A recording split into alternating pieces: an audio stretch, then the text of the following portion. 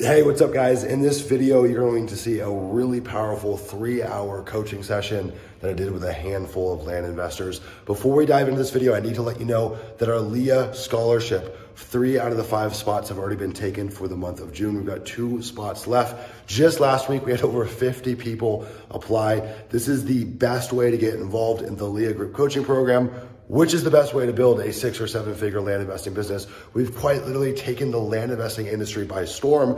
We've got folks that are getting insane results just 60, 90, 120 days inside the program. If you guys are inside of our Discord community, you've already seen this. Go to landinvestor.co slash scholarship or go click the link down below. If you're looking to build a badass land investing business that buys back your time, that uncaps your earning potential, and allows you to live the life that you want, the life that you deserve, click that down below. Let's get into the video. Peace. Goal of today's call. So this is going to be a Q&A based call. Um, you know, and then previously we've done a lot of these where they're based off of uh, a certain topic. But today we're going to go, we're just going to riff. And so I'm going to let you guys kind of open fire on me and any questions that you have wherever you're at, right? You could be half a decade in this business, you could be five minutes into this business. All questions are welcome. Uh, there's no such thing as a bad question. Uh, so we'll get things kicked off here in a little bit. Ben, what's up, my man? How are you doing? How's your week? Good, good. I took a little uh, took a little time off to take my boys and uh, my wife to Palm Springs in the desert because it's been oh, nice. cloudy as hell right in SoCal. So, dude, what part of uh, what part of Southern California are you in? Pasadena. Pasadena. Okay, cool. Yeah. Are you in uh, uh, Palm Springs right now? No, I just got back. I'm in the I'm in my office today. Nice man. It's very holy in there, very bright. yeah, I know. I got, the, got the I got the blurred windows in the background. yeah. But it's a good how's uh how's everything in your land business this week? Anything to report on?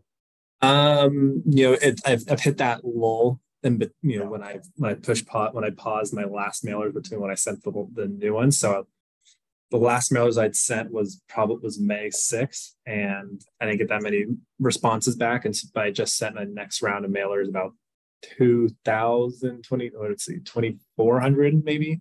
Okay. Last Friday. Um, I meant to send, you know, try to get ready to send another one today. I'll probably leak in the Monday. Yep. Uh, but you know, I'm kind of trying to hit that. Yeah, I'm trying to hit the right now. My goal is around five thousand a month. Um, and uh, you know just continue you know looking at markets finding yeah. ones i like getting them price and mailers out the door to try and get some information that feedback loop started and uh, yeah. yeah. How's uh how's it going with the market selection va that's helping you? Yeah good. I mean he's he's pretty uh he, it's a pretty simple task i've got him started yeah. with. Um i'm still trying to get a grasp on you know i i think for personally as far as pricing markets go i think i need to be a little just bit more judicious and being like, okay, this is not a you know homogenous market. It's yeah. going to take me a while. I've got plenty of other markets I need to look through. It really should only take me like five or ten minutes, not you know thirty minutes an hour looking right. at every single comp. Like I need to. It's so I'm trying to get that level of level of uh, knowledge quicker, right? Yeah. Pacing quicker, and then I you know then I record myself, and I think he'll be able to handle it. it just uh yeah, take some time. He's only been with you for what about a week now?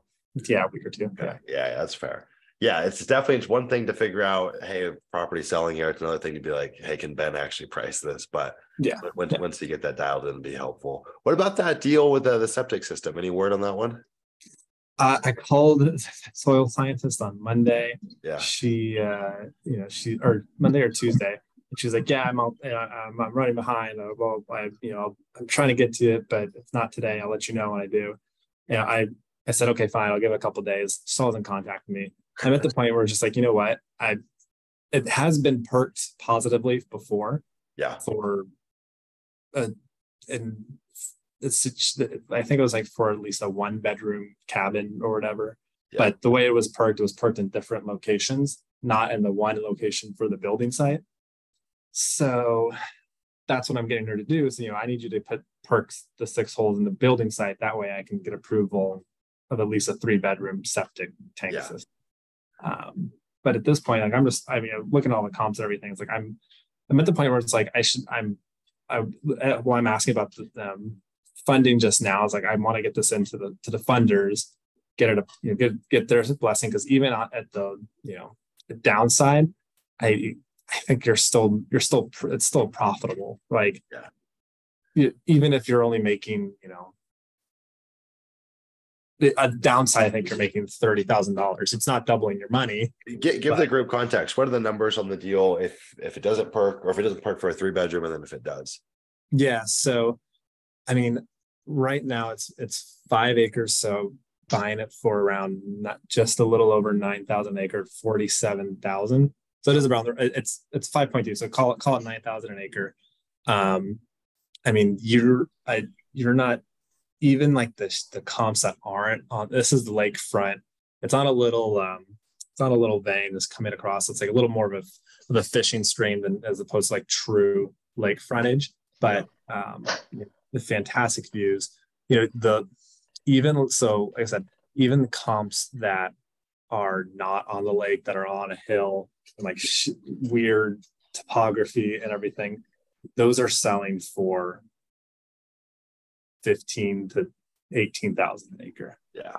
Yeah. So that like the up the upside is tremendous, right? Like there's there's comps that are selling for 36,000 an acre, 30 to 36,000 acres. Like there's there's enough to, upside, especially at this price point. Yeah. That I think it's just worth you know closing just just so that way I get control of the property, and um, you know make you know the seller won't back out or anything like that. Yeah. Yeah i wouldn't stay in limbo too long. And when i tell people too i mean you know use your discretion. I don't think anyone here would be obnoxious with bombarding deal funders with every lead they get.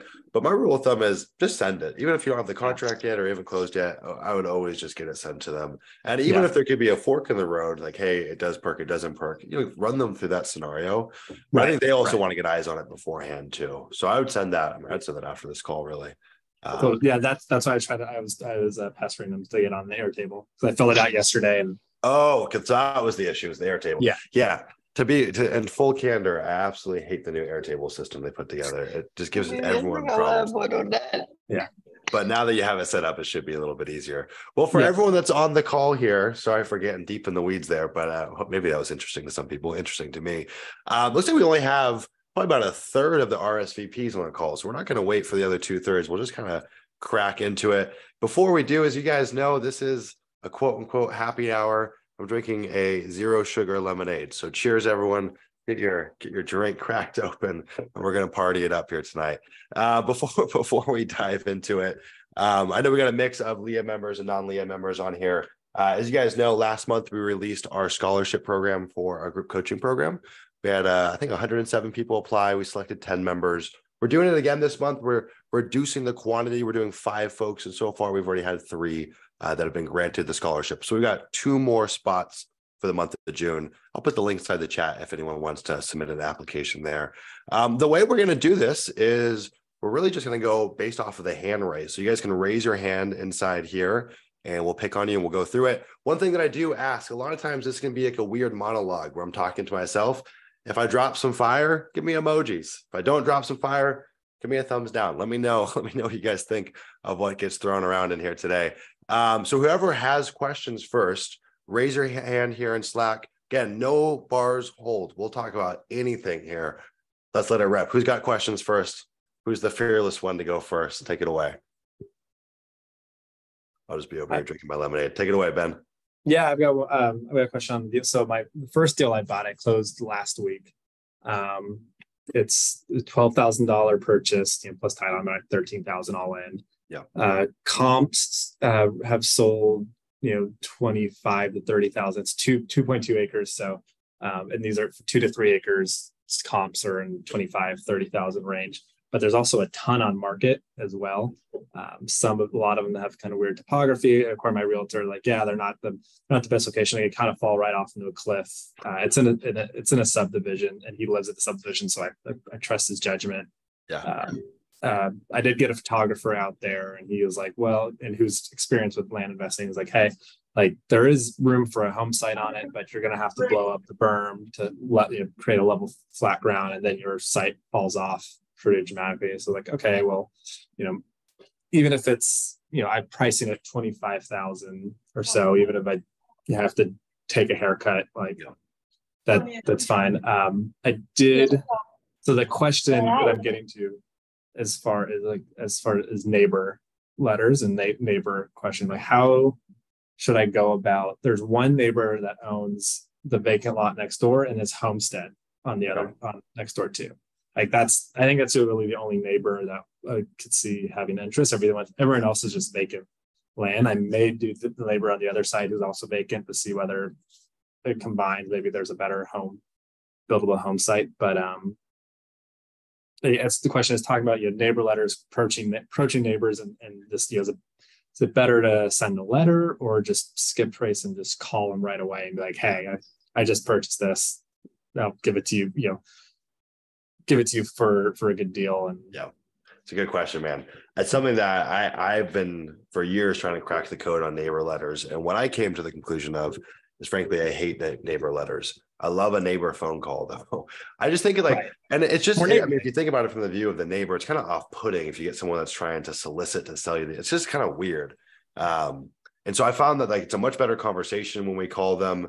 Uh, you got to be careful soliciting stuff through text. If you're doing that at scale, like be careful there. But yeah, we've had way better luck with calls. And also, you just get to that yes or no faster. Usually, yeah. the way we position it in a neighbor letter, um, which you might not apply here, but we would usually we we bump the price or like we'd start at a higher retail price and give them a little bit of a discount in that letter. Um, but this you can just kind of get a yes or no immediately. You don't have to do that mumbo jumbo with the price. So yeah, yeah. I, I would use uh, direct skip and yep. just give them a yep. call. I think that's got that signed up. I got I got the neighbor info already off of that, so I'm I'm ready, ready to go. I just wanted to. Uh... And that's something that we actually have our disposition manager do too. So she'll go pull, skip mm-hmm. trace, call, and text the neighbor letters or text the neighbors. We still don't get that many deals from it, but frankly, yeah. it's been way better than our neighbor letters. So yeah. Yeah. And okay. for a deal like that, that's probably the best angle. And I would say, frankly, I mean, this is your your first deal, yeah. Yeah.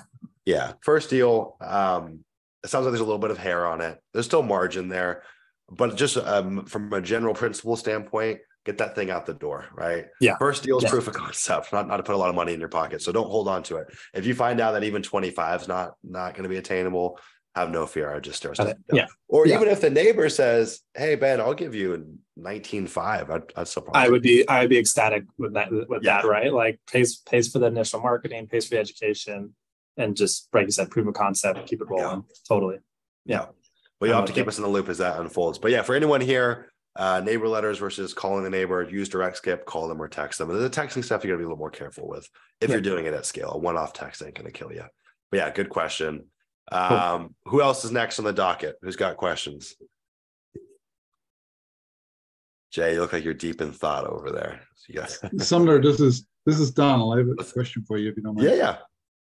Um, as you're going through um, looking into subdivisions and trying to pull based on the subdivision name, you find that in some cases a lot of subdivision or a lot of parcels don't actually have the name on the subdivision. Yeah. Because I, I kind of did an experiment myself where I was trying to pull by the name. And then I went and put a polygon around what I pretty confident was the subdivision. I went very meticulous on it. Yep. And I worked out that I got uh, 42% came out with name on it. And it was like almost, yeah, 60% or almost 60% had no name on it. Um, but it looks like they're in the same subdivision. Okay. In that case, would, would you suggest then using the polygon as opposed to the um, subdivision name to pull your data? Yeah. Yeah, so uh, a good litmus test here first too is I will say the subdivision search tool on data trees is certainly finicky. Um, to go test the reason though, because it seems like a subdivision would be logical and they typically are, but we've seen weird ones where you think it's all one and it really is a separation and they are different subdivisions or unrestricted and subdivisions. So you can always go check the legal description to cross reference just to make sure that you really are mailing to the same subdivision. But yeah, I would say a third of the time we end up having to use the polygon. What we'll see too is in some cases the subdivision tool inside DataTree will pull, like you said, you know, maybe two thirds or half of the actual real data that's there. And it's pretty obvious that the rest of the subdivision is just not getting pulled. you also see in some cases in DataTree, it's the same subdivision, but it's got like seven different variations of the same name, right? And so it can, right. it can definitely be a little bit finicky. So yeah, I, I, would have no fear with the polygon, but just to test your reason, I would challenge you to go look at the legal descriptions. There can't that's rare, but you can be surprised at what looks like one I, subdivision is not one subdivision. So I'll just test that. That's a surefire yeah. way to, to know. Yeah, I did. I downloaded the subdivision legal description and it Okay. shows. I mean, a full slew of legal description. It shows the subdivision name within the subdivision within the legal description. Yeah. But a lot of the ones which have a legal description that shows the subdivision, they don't have it in the subdivision subdivision Right. column or, data. Yeah, data yeah, yeah. report. Yeah. Yeah, So I'm intended. Yeah. Yeah, I think your your your your thinking is right in terms of pulling the legal description. And frankly, I mean, like if you look at everything in this business, this is just a common thread that we see from start to finish of like this fragmentization of all of the data sets, and there's a lot of inaccuracy, and and this even this still applies to the data providers that we use. So yeah, I have no fear using the the Polygon. And heck, in the worst case, let's say you do pull 10% of an additional area that you don't want in your data set. It's a very small cost you're going to incur for mispricing those potentially, where they might be they might be well priced. So Yeah, and it might it might help some of your team here. That what I've noticed is if you also pull the legal description, you'll find out pretty quick if it's in a different subdivision. Yep. Yep. Uh, and you can just leave it out of your mail. If you get ten percent that are not in the same legal description, you can just leave it out of your mail. yeah, That's kind of what I'm seeing. you know? yeah, Uh, yeah. It's always going to be the source of truth is the the legal description. And I, I don't know where the disconnect with DataTree comes with the subdivision filter and the legal description. I'm not quite sure why that's the case. You think the two would communicate, but there can be a, a bit of a disconnect. But yeah, I think your thinking is sound there. Okay. Yeah. Yeah. Donald, how's I, I noticed else? that Oh, go ahead. Uh, it's it's going reasonable. I, I joined your co- program uh, quite a while back, but then Yep. I, I got really busy. We had a lot of stuff going on. I'm still working full time, and we ended up. I'm in California too. I heard Ben Yep. he's in he's in Pasadena. Uh, we ended up selling our house and, and buying another one. I just got busy moving in and moving out. I, I kind of wasn't able to keep up with this, but I'm trying to get back into it again. Yeah. Um, but uh, I, I have really my still kind of where Ben is. I'm trying to do my first deal. Yeah. I have one under contract. Um, and I had a buyer interested in buying it, and they were supposed to close this past week, and they didn't close. They had some hold up, so I'm kind of waiting to see what happens there. I'm setting it with a realtor, so he's he's kind of working with this with the buyer to see if they can Yeah. buy it. But it's under contract. I, I go ahead. Would you mind walking through the group just for context on what that deal looks like? Sure. Yeah, I, I started out maybe wrongly so, but I started out looking at infill lots in Florida. Um, it's easier from my perspective. It was easier to kind of see the layout and, and, and the homogeneity that they're all kind of the same. I know you said it's it's kind of a it's a lazy way of going about it, but I started there just to kind of learn, and, and I ended up sending some mailers, and I got a, a deal in I think it's in Lake County in Florida. Paid uh, at least in the in the purchase agreement, it's uh, approximately fifteen thousand five hundred to buy, and talking to the realtor, he he guessed it was worth a little over 40, maybe 42, 43. So we listed it at um, 39.5, we listed it at. Mhm. And uh, a buyer, a builder, it's actually a builder came in to put an offer on it. I think he put the offer at 34.9. And it was my first one, so I said, okay, let's just accept it and, and try and get this done. He put a thousand dollars down as his deposit, which is good. And it's been kind of dragging a little bit. It's taken a little bit while for him to close. He was supposed to close two weeks ago. He wanted to do some. Um, he, he did like a site survey. He was concerned that there was an encroachment from one of the neighbors where he was going to build. So he did end up doing a site survey. He wanted more time for that. And then he did some water analysis. I don't think he did a perk test, but on the maps you can kind of see what looks like a possible stream that runs across the site and I could see it and I was aware of it. And uh, he wanted to do an analysis on that. He did his analysis and apparently he's okay with it. So he was planning to move forward and we were going to close this week, but then something happened and, and he didn't close. So I kind of got to wait and see what happens. We might end up having to relist it. It's off the market right now because he has it, he has it under contract. Okay. Uh, we may end up having to list it again, but that would be my first one if it, if it closes. But it's it's kind of dragging a little bit here in the last bit.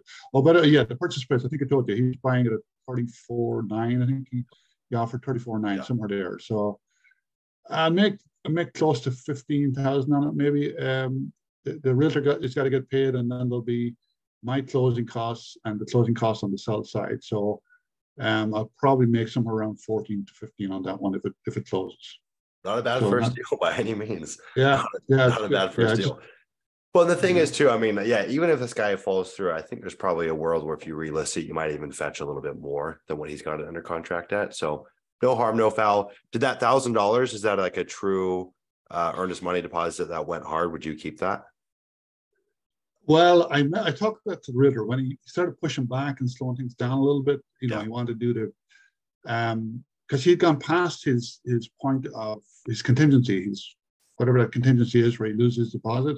He'd gone past that point, and then he wanted to do this um, site survey, uh, which he did and turned out fine. And I, I was asking the realtor about it.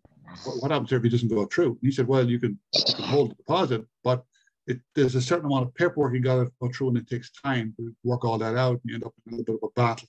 Yeah, I'm inclined to, if he doesn't want to just tell us. If he doesn't want to do it, give him back his thousand dollars and list it again. We can't list it. We get him out of the way, basically. Yeah. yeah. And if I try to hold on to the deposit, it'll just take a lot longer.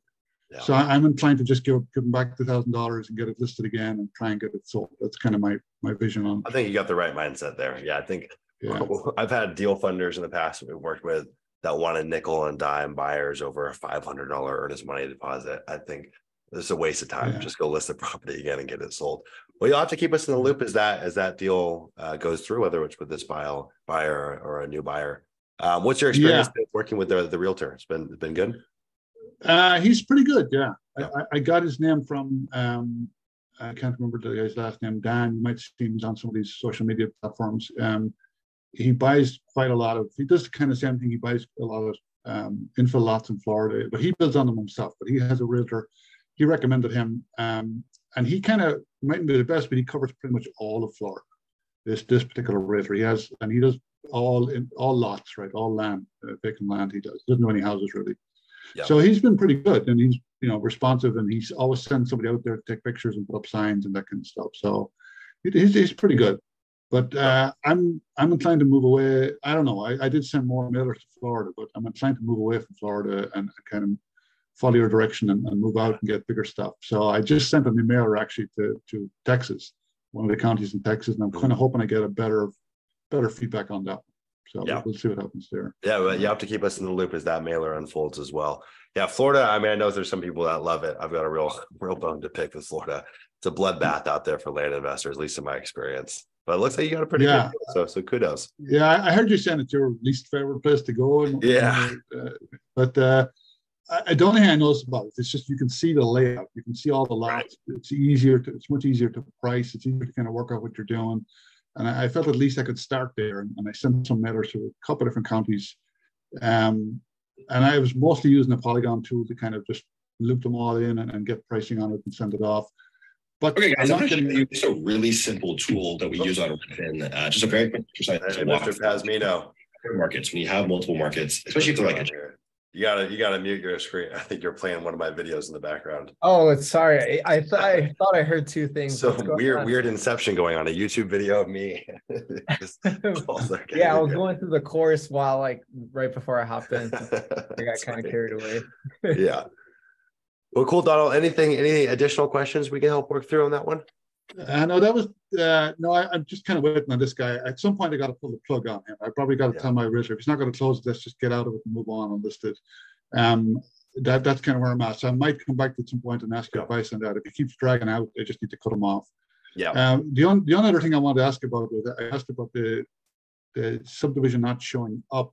Mm. Um, do, do you find that the Polygon tool you try and stay away as much as possible from the Polygon tool? I'm trying to use it. I like it. I, mm-hmm. I think it's uh, if, if you don't think there's any major problem with it, I zoom in pretty tight. I, yeah. I keep really close as much as I can to the subdivision and, and try and work it out. If yeah, no, I yeah no no bone to pick with the sub with the Polygon tool. I think it's one of those things where it's like know thyself. So some people are really sloppy and they just and so if we're talking to a beginner and I can't see them do it, well, a subdivision tool is probably going to be a little more reliable because I just don't know how how tight they're going to draw their polygons. But yeah, there's there's no nothing inherently wrong with it. There's just a little more margin of error depending on how the person's using it. But yeah, if you're zooming in, if you're taking your time, you're not rushing through it, but it's same same. And in fact, again, as we can see, somebody's going to actually gather data that you're not going to get through the subdivision tool. So we use the polygon a ton. I, I would never stray anyone away from using it. Um. So yeah, I think you're totally fine there. Yeah, the, the one thing I noticed is you spend a lot of time digging in. And the one I just sent off in Texas, I think I got 588 records yeah. to send off, which is right at the minimum for yep. rocket printed mail. You spend a lot of time digging in and working it out and pricing, and it's not a huge volume. You're not talking like thousands at a time. You're talking like hundreds at a time. Yep. Um, yeah. So this is what I, to increase that or make it more time So you got to think about it like this. Yeah, and I'll, I'll provide context for the rest of the group. So what Donald's talking about here is if you are there's like three main strategies that we talk about. If we're trying to simplify our market selection process, right? First off, we're going to go look for demand.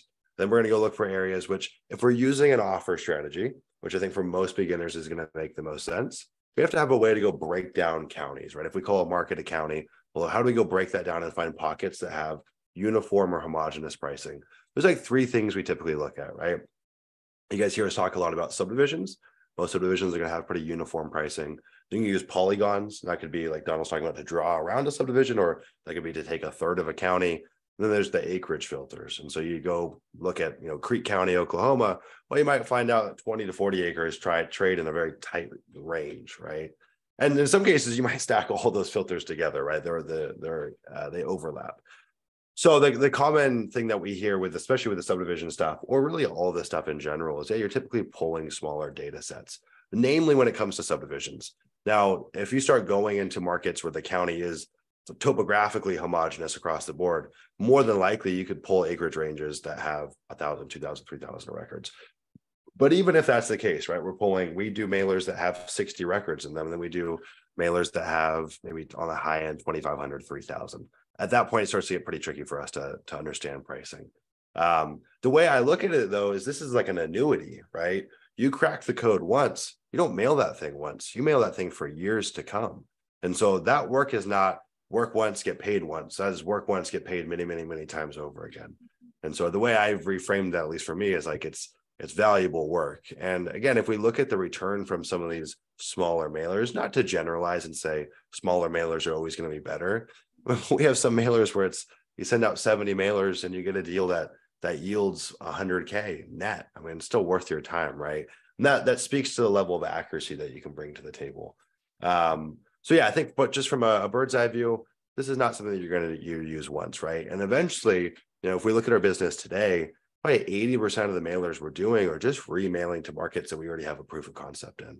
And so we typically remail quarterly in most environments um, so yeah, no, these are small data sets. I mean, if you if you looked inside what sending out 20,000 mailers looks like for us, it's dozens or in some cases a 100 plus small little data sets.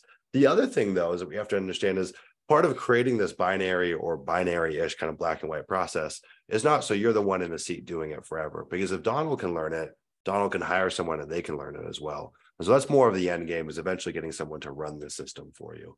Um, but yeah, no matter how you slice it, it's it's it's definitely time consuming and it can be a bit of a, a heartache process. Does that make sense? Yeah, no, yeah. Does, yeah. Makes sense. Yeah. So yeah, I mean, again, I always tell people, and sometimes on these calls, I've gone and pulled up my DataTree and like 60 records, 12 records, 1200 records. And like, you know, a lot of these can be really small. It's just kind of the name of the game, at least for executing on this strategy, right? There's a lot of ways to skin the cat in this business. There's a lot of ways to get paid. But what we're really trying to optimize for is for how do we get a new land investor scaled up? Well, it's easier to do that proactive work on the front end, pricing markets and selecting markets, than it is you going and dropping uh, 10,000 neutral letters and fielding a bunch of calls at random hours. And again, we also, if you are doing that game, we have to assume that you're really good at working leads and you're really good at pre-qualifying leads. That's why when we take a story like Andy Barlow, he sent out 40,000 neutral letters before joining us and got no deals the byproduct of one, he couldn't handle this this tidal wave of leads, he also didn't have the chops to go through and and and pre-qualify those leads because there's a very small segment in that, that 40,000 mailers they sent of people that are actually genuinely qualified, right? The other thing on top of those, once you start taking that strategy uh, of just being, I call it sloppy, but some people just call it scaling their marketing and grabbing a state and just throwing neutral letters at it. When you get deals back, you are starting your due diligence process for the first time over again. Like you're doing it for the first time. When you go pull that market, let's say it's a subdivision of 500 records. Well, in the process of pricing it, you're going to be able to know if it's a deal or not within 10 minutes when it comes in inbound to you. And so that I think it that saves a ton on the back end. Um, but though I always tell people either the work happens on the front end or it happens on the back end. It just happens to be for most new land investors, that front end work is way more sustainable. So my two cents on that one. Uh, but again, not to say you couldn't make money other other ways. We've just found this is the path of least resistance. Uh, Jay, you got a question in conjunction with that? No, it's no. uh it's a completely different set of questions. Okay. I, I was just just raising my hand to keep you going. okay. You're good, man. What, what's what's what are the questions? Unless Donald, is it, do you have you feel clear on that? No, yeah, we're, we're good. Okay, okay, cool. I, I, I feel, I feel good. Thanks for that. Yeah, cool. Uh, all right, Jay, what, what do you got for me? All right, so what, what makes a county a good county for you? Hmm. Well, what do we qualify good as in this case? I mean, that's definitely going to be subjective. I'll tell you what my view of good is, and we can kind of work off of that. So, when we were talking about going and finding markets, I imagine like one of those like law scales that they have that we're trying to balance, right? And so we're trying to balance. Yes, there is demand for land. People actually want to buy land, and and hopefully there's not just demand for land. There's also not this oversupply of land. Take Florida, right? Demand is super strong. I mean, you'll see you know 500 properties sell in a month or 200 properties sell in a month at a 20 or 30 percent sell through rate. But there's also 6,000 pieces of inventory, and so again, you just start getting shuffled to the bottom. So demand, but hopefully in conjunction, there's not too much supply. And the flip side of that is ideally homogenous pricing. Now, what do I think ties into homogenous pricing? I would say topographical features. So mountains, lakes, rivers, oceans, I call cities topographical features. That's going to swing price typically, not always, but to generalize, right? Um, there are some markets where it's like flat and looks exactly the same, but for whatever reason, one area is a little more desirable than the other. Maybe there's big oil boom up there. There's stuff that you can't see topographically, but for the most part, that's going to be the driving factor. So, like we've been talking a lot about Oklahoma lately. I'm not quite sure why that's been so popular, but go pull up almost any county in Oklahoma, and it, it literally visually on the map, you can see it's exactly the same. Like it really does not change much, and so that's really helpful. I think climate can also dictate uh differences in price right um so yeah, the best case is there's tons of demand. Topographically, it should be relatively similar, but that's going to more feed into just some kind of consistency in pricing. And so my favorite type of mailer doesn't always happen. My favorite type of mailer is when I walk into a county that's just like screaming at me that there's demand. And then I go and look and I say, holy shit, the 10 to 20 acres trade between 5,000 6,000 an acre. And the 20s to 40s trade at 5,000 to 5,200 an acre across the whole county. And then that is usually oh the county is totally the same across the board. Does that make sense? Yeah it does. And, and i i realized like i think that was good information but i worded my question poorly. So I'm, okay. I'm, I'm, should have stopped me man. I'm, I'm going to try this again. I, I, meant in terms of okay uh, you're you're mailing a county or you're mailing a, a, a segment of a county um, is is one deal per 5000 pieces of mail uh, what yeah. you're looking for like why why would you go and double down on a county yeah. And then I've got a follow up question to that question when you're done with that. Okay, I'll answer this one first. We can do the follow up. so, yeah, the best data I can ever get is ideally from actually going full cycle on a deal. That's going to tell me more than anything. But even if I ha- don't have that, I can still learn from the number of leads I got uh, and the, the kind of quality of leads I got. But my the best case scenario, I've cited this example before, but I'll go through it again. They actually told you this example, Jay, but it might be worthwhile for the others in the group. There's a market in Southern Colorado uh, kind of adjacent east of Costilla County, for those that know where that is. I thought this market looked pretty good as a little subdivision that was roaming through the hills. I went and mailed it. I'd mailed a super small set. I mailed like 700 letters. My pricing was off. I got like crickets. And so from that, I was like, all right, I think I fucked up pricing. I hadn't given up on the market yet. So I go back there, I re- go back to the drawing board, fix my pricing, send it out. And we got like three deals from those 700 letters. And those three deals all sold in less than four weeks. They all sold somewhere between like 100% 120% uh, return. Think like each deal was like a buy for 30, sell for 60, 70, something like that. So for me, I was like, well, ding, ding, ding, sell through rate's crazy. I've cracked the code on pricing because I know my first mailer was not it. My second one was it. And there's huge margins here.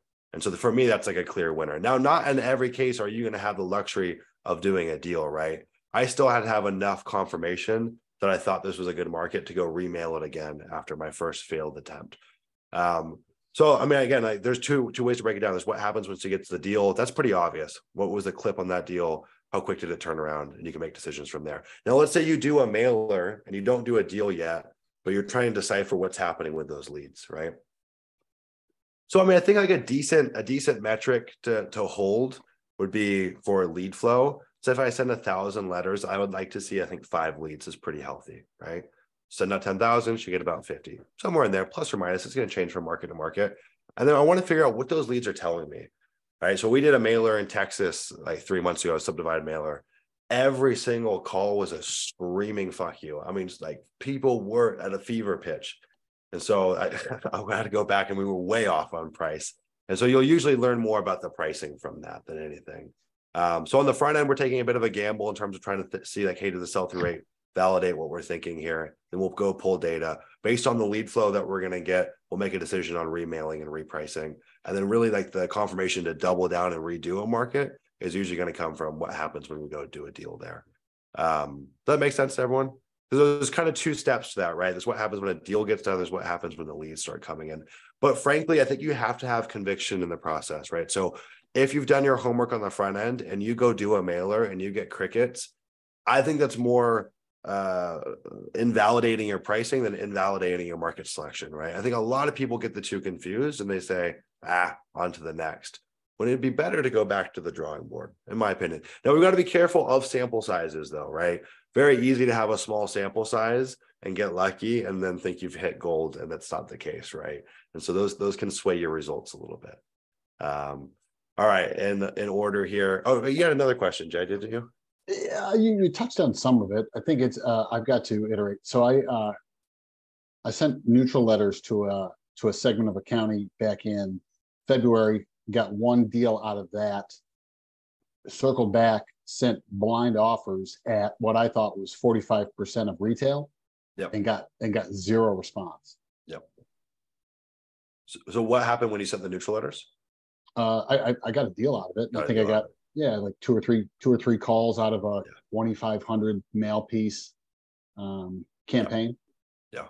Yeah. So I think that's a reflection of the fact that, and I, I have this happen all the time, or often enough to say all the time. We think we know pricing. The Texas example is a great example of that. I thought I knew pricing, and I went out there and was offering for subdivided candidates at like 6,000, 7,000 an acre. And I was so off. I mean, like so off. It's just because I was looking at limited data. Say I have 20 comps. Well, that's not a fair reflection of value, right? And maybe I also didn't do my homework on the swing in price for that county as well, because we were mailing the whole county in that case.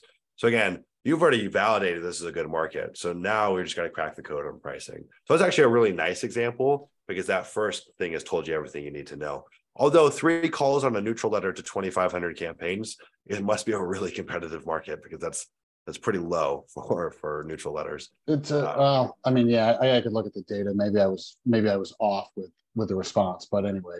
Um, yeah. Yeah. Yeah, it was like a, a 0.25%. That's low for neutral letters for sure, man. That's probably just smoking hot county. I Yeah. did that deal sell fast when you got it? One day on the market. Yeah. Well, dude, come on. What do you expect? Yeah. Yeah. That I mean, like there is such a thing uh, where I mean, it's not too hot of a market, but there is such a thing where a market is so gosh darn hard, hot. You've really got to reframe your expectations of what's going to go down there, right? Like, you know, we've been working outside of Austin for text and and mail. Oh my god, whole different can of worms of how much effort it takes to get a single call back or to even get a decent lead. And so that, that also might be something of reframing your expectations. That neutral letter kind of tells us that. But the, the question is, well, is sending out 10,000 letters to get a deal hypothetically in that market, we're selling it in a day. And is the ROAS still strong? Probably, right? You just have to be a little more fearless in your marketing efforts to say, I'm cool. This is exactly what we've gone through with the subdivide stuff. I had to go and wait eight months and shell out tens of thousands of dollars in marketing with nothing in return. And just to say, I think I know this works. I know this works. But that's just the name of the game. And in fact, I think the ROAS is actually better from those efforts, but you've got to outpour a lot of capital and you've got to be really patient. And so that's just kind of a decision that you have to make as the owner. But if you want better, like faster turnaround or faster yield from your mailers or less marketing dollars that have to go out to get a lead, stuff that's a little more in the, the middle in terms of you know too hot too cold for a market might be better suited one day for land is i mean it's bonkers So, Yeah. Yeah. Okay. And I got one more, one more question for you Yeah. here, and I'll turn it over to the other guys. Um, how do you, when, when you're working, maybe it just doesn't apply to you anymore, but to, to those of us in the group that are using the, uh, the, the funding guys to do this stuff, and you've got to come with, with two broker prices. Well, going back to the same county, I'm gonna go back to the guy that sold, sold my land for me as fast as possible and I trust him and he's in the game. He's selling land himself. But I've got to go find this other, you know, find some other broker to give me a BPO that I'm never going to use. And now that I've burned through them, I can't talk to them. Right, right. So, so how do you, so, so when, when having to find multiple BPOs, how do you, you stop burning these guys Yeah. out or burning? yeah, man. them? So in the context of deal funding, I mean, I again, I don't want to teach anyone to be a super rebel here, but uh, we push back. I mean, two, come on, two, that's ridiculous. If they trust you, and maybe for your first deal with them, sure, but as they trust you as a land investor, a zero or one should be good enough, right? So I think that is a trust thing in the relationship. That's like a uh, like a barrier to entry that they want to kind of weed out the tire kickers. But as you build that relationship, frankly, we've never even sent them a, a, a BPO for any deal. Um, so I think that changes over time because that's that's an absurd expectation to maintain. Now, more from a general standpoint, how do we get BPOs from realtors? You're right. You you burn through people, you talk to a lot of people, you piss people off. I mean, in, in a lot of cases, like I've paid for BPOs a few times, and it's never worth it. It's never worth it. A lot of cases, they just tell us exactly what we already know. Um, so yeah, I mean, in that example, I would use the realtor you've already worked with. I think one realtor that you trust is worth 10 realtors that you don't know. And I would just, I would just counter them on that. And again, when it comes to this deal funding stuff, what I've seen is it's very much a two-way street. You can counter, you can make a case. If they deny a deal, you can make a case and rebuttal them. It's never they know better. And in fact, I think they respect when people kind of defend their stance. I think that's how you build a deeper relationship with them because it very much is a kind of a relationship arrangement. Um, so yeah, I don't have a clear answer on the BPO stuff. What I will say is we so we use Zome to go find the the uh, realtors that are selling the most land in that area. Reach out to them. If they're worth their salt, they're usually willing to do it. It's just we get some people that think it's a money making opportunity, and for me, it's typically a I'm I'm not even going to work with you. And I've played I've fa- fallen into that trap a few times, and it's not worth it.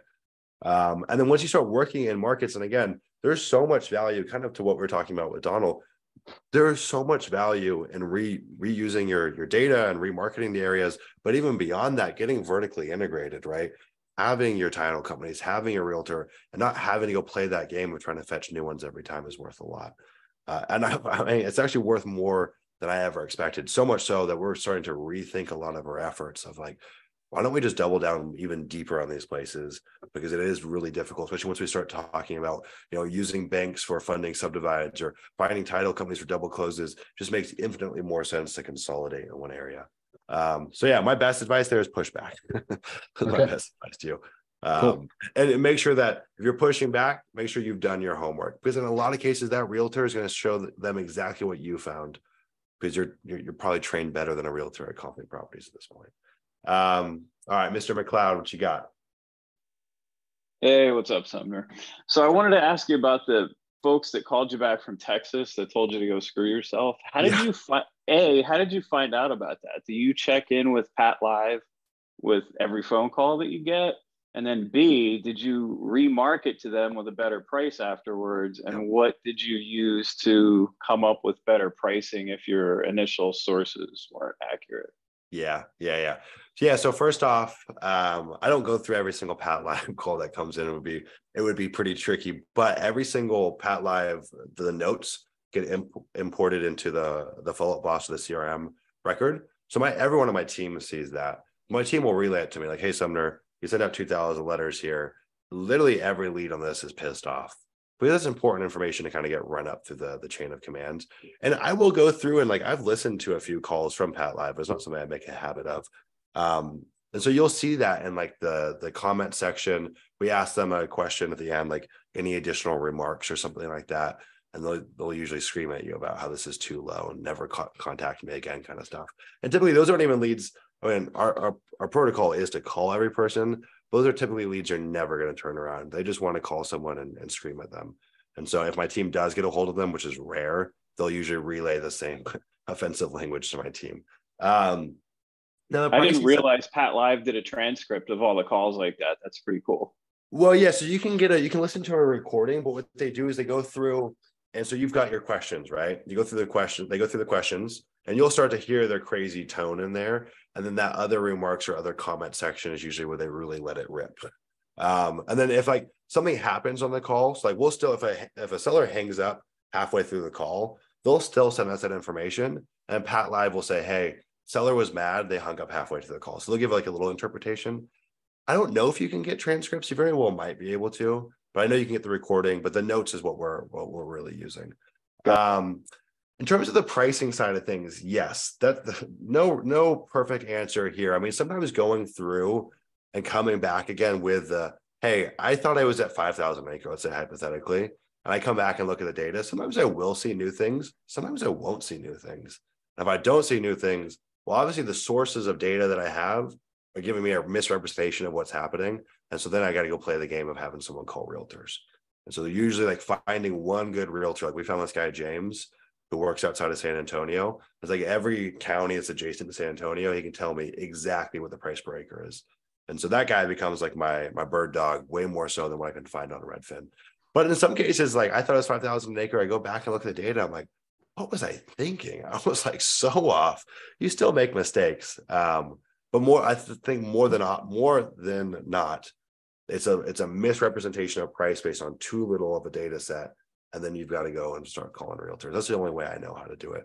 Now, I mean, you could just try to take a very unscientific approach. And what some people do is like uh, they go and let's say you go download your data from DataTree. They'll go through and say, okay, I think all properties are worth 6,000 an acre, right? And it's crazy that you can do this and it's still profitable. So it's like everything 6,000 an acre. So that inside their, their data set, they'll go make new columns. So it's like 35%, 45%, 55%, 65%.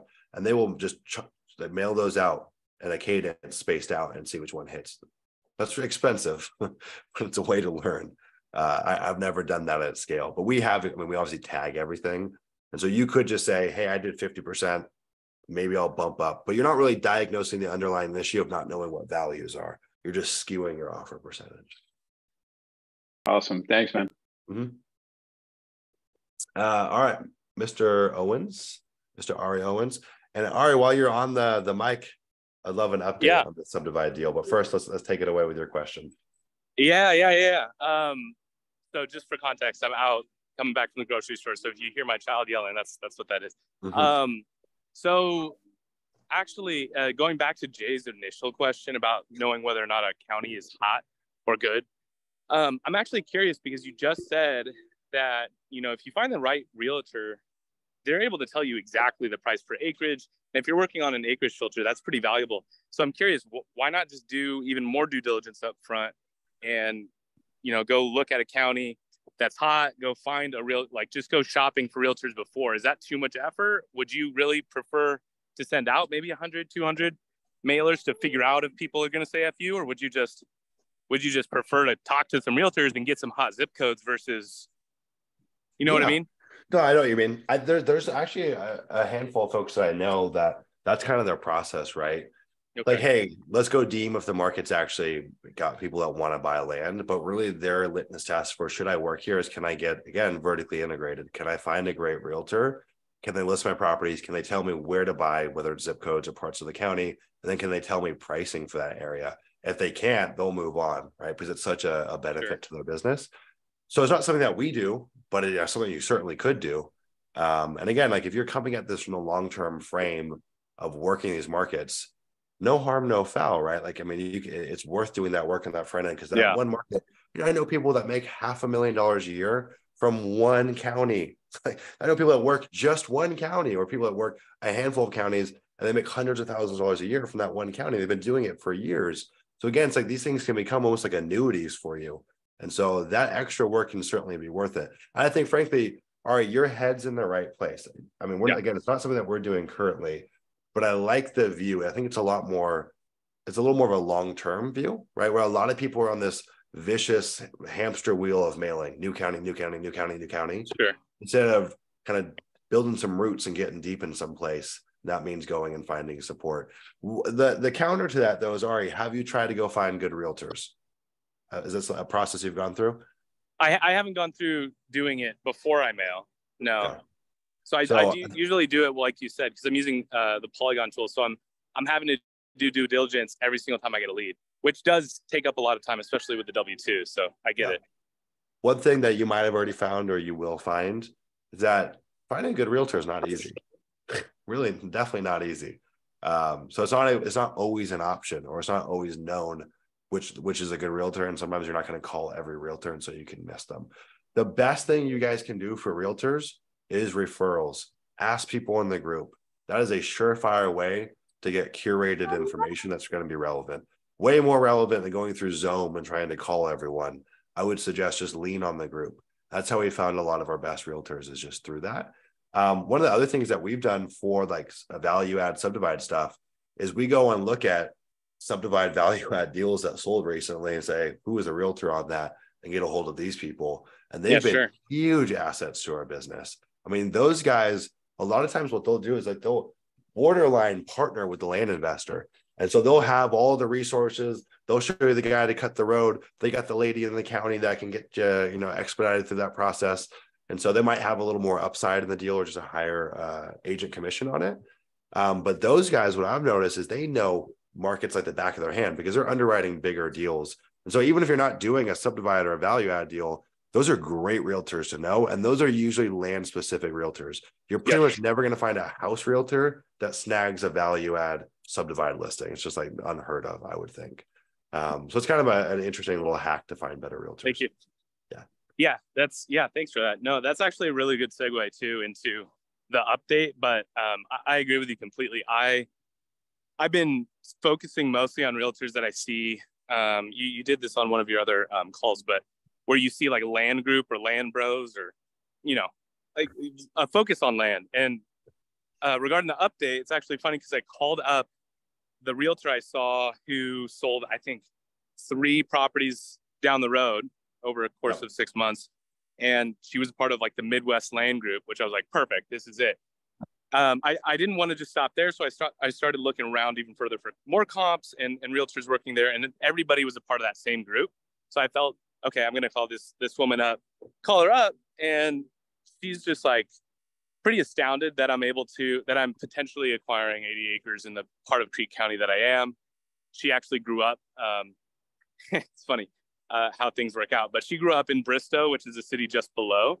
And she oh. actually uh, her parents live on the the home right behind this property. So she's extraordinarily familiar with the the land itself. And um, yeah she was able to quote me actually um, at uh, for five acres up to 15,000 per uh, per acre which is pretty Wait, great. 15,000 an acre? Yeah she said if i can get it down to five each uh, they would pretty much it would pretty much. Uh, for, for context, everyone in this group, this is a for buying for 4,300 an acre, 80 acres. Uh, it's a deal that uh, looks like Ari and I are going to partner on a subdivide in Oklahoma. 15,000 an acre seems really high. Yeah, she she has sold a couple others at 10 to 12 uh, okay. an, ac- an acre. So, um, but I'm inclined to believe her because um, she sold probably four or five of the the closest in proximity comps. Um, yeah. I'll have to I'll have to do some more due diligence. But she was a uh, she was pretty ecstatic about about the actual land we were working with. It's so um, weird. Her parents live behind the property. Yeah, literally the parcel, the parcel right behind the land. Like wow, too weird. Yeah. So yeah. So um, on top of that, uh, the other thing is I got an email from uh, one of the sisters. The the three parcels all, that all uh, add up to 80 acres total for everyone else. Um, they're they're three different sisters. I couldn't hear the first sister when she called in, and so she gave me her sister's number, called her sister, and then I got immediately kind of built some rapport with her and got her under contract.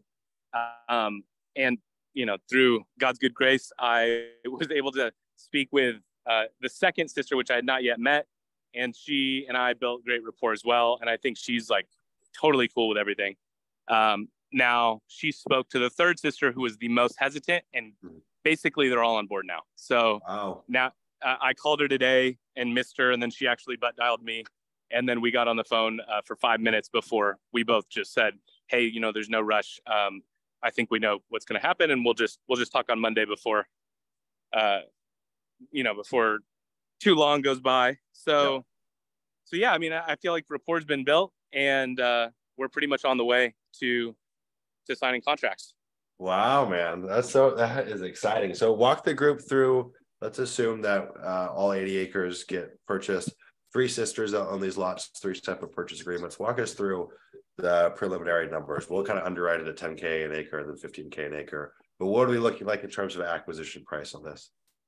Yeah, absolutely. And you'll have to forgive me since I'm out. I don't have everything in front of me, but yeah. um, but yeah, 43 about a 43 an acre. So I'm actually buying 25 acres at 112. Uh, um, yeah. buying another 25 acres at 116.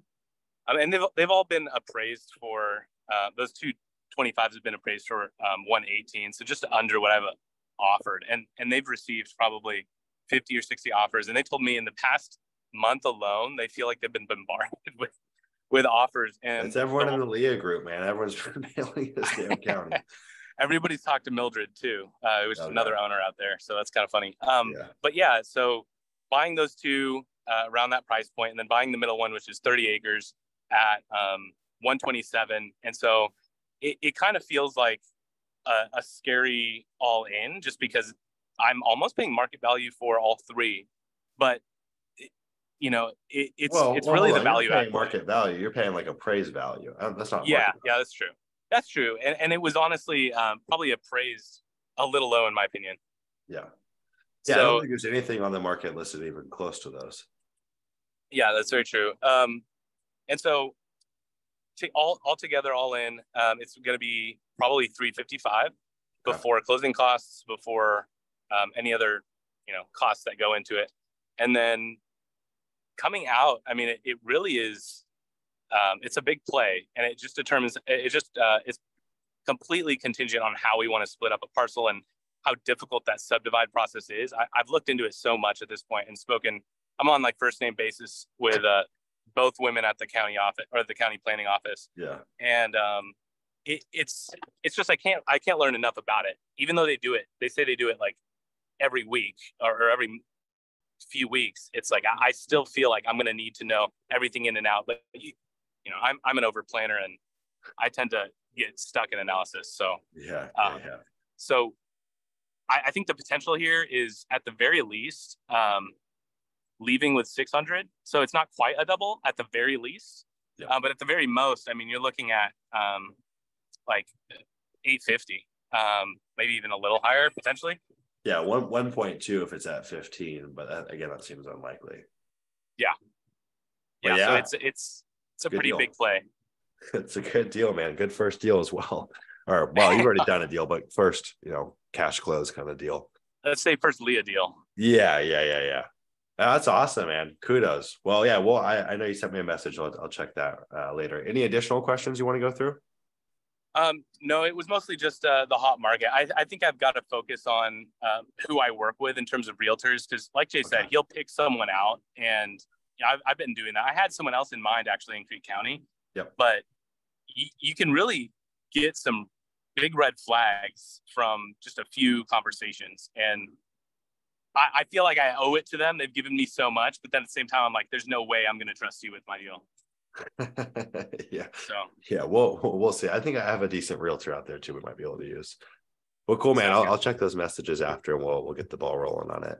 Um, I want to make sure I'm pronouncing your name correctly. I believe it's Tukir, but you could correct me if I'm wrong. I know your yeah. hand's been up for a while. It's Takir. You got you got Takir. It. Cool. Awesome. It's a cool name. I like I'm a, as you can tell, I'm a fan of unique names with a name like Sumner.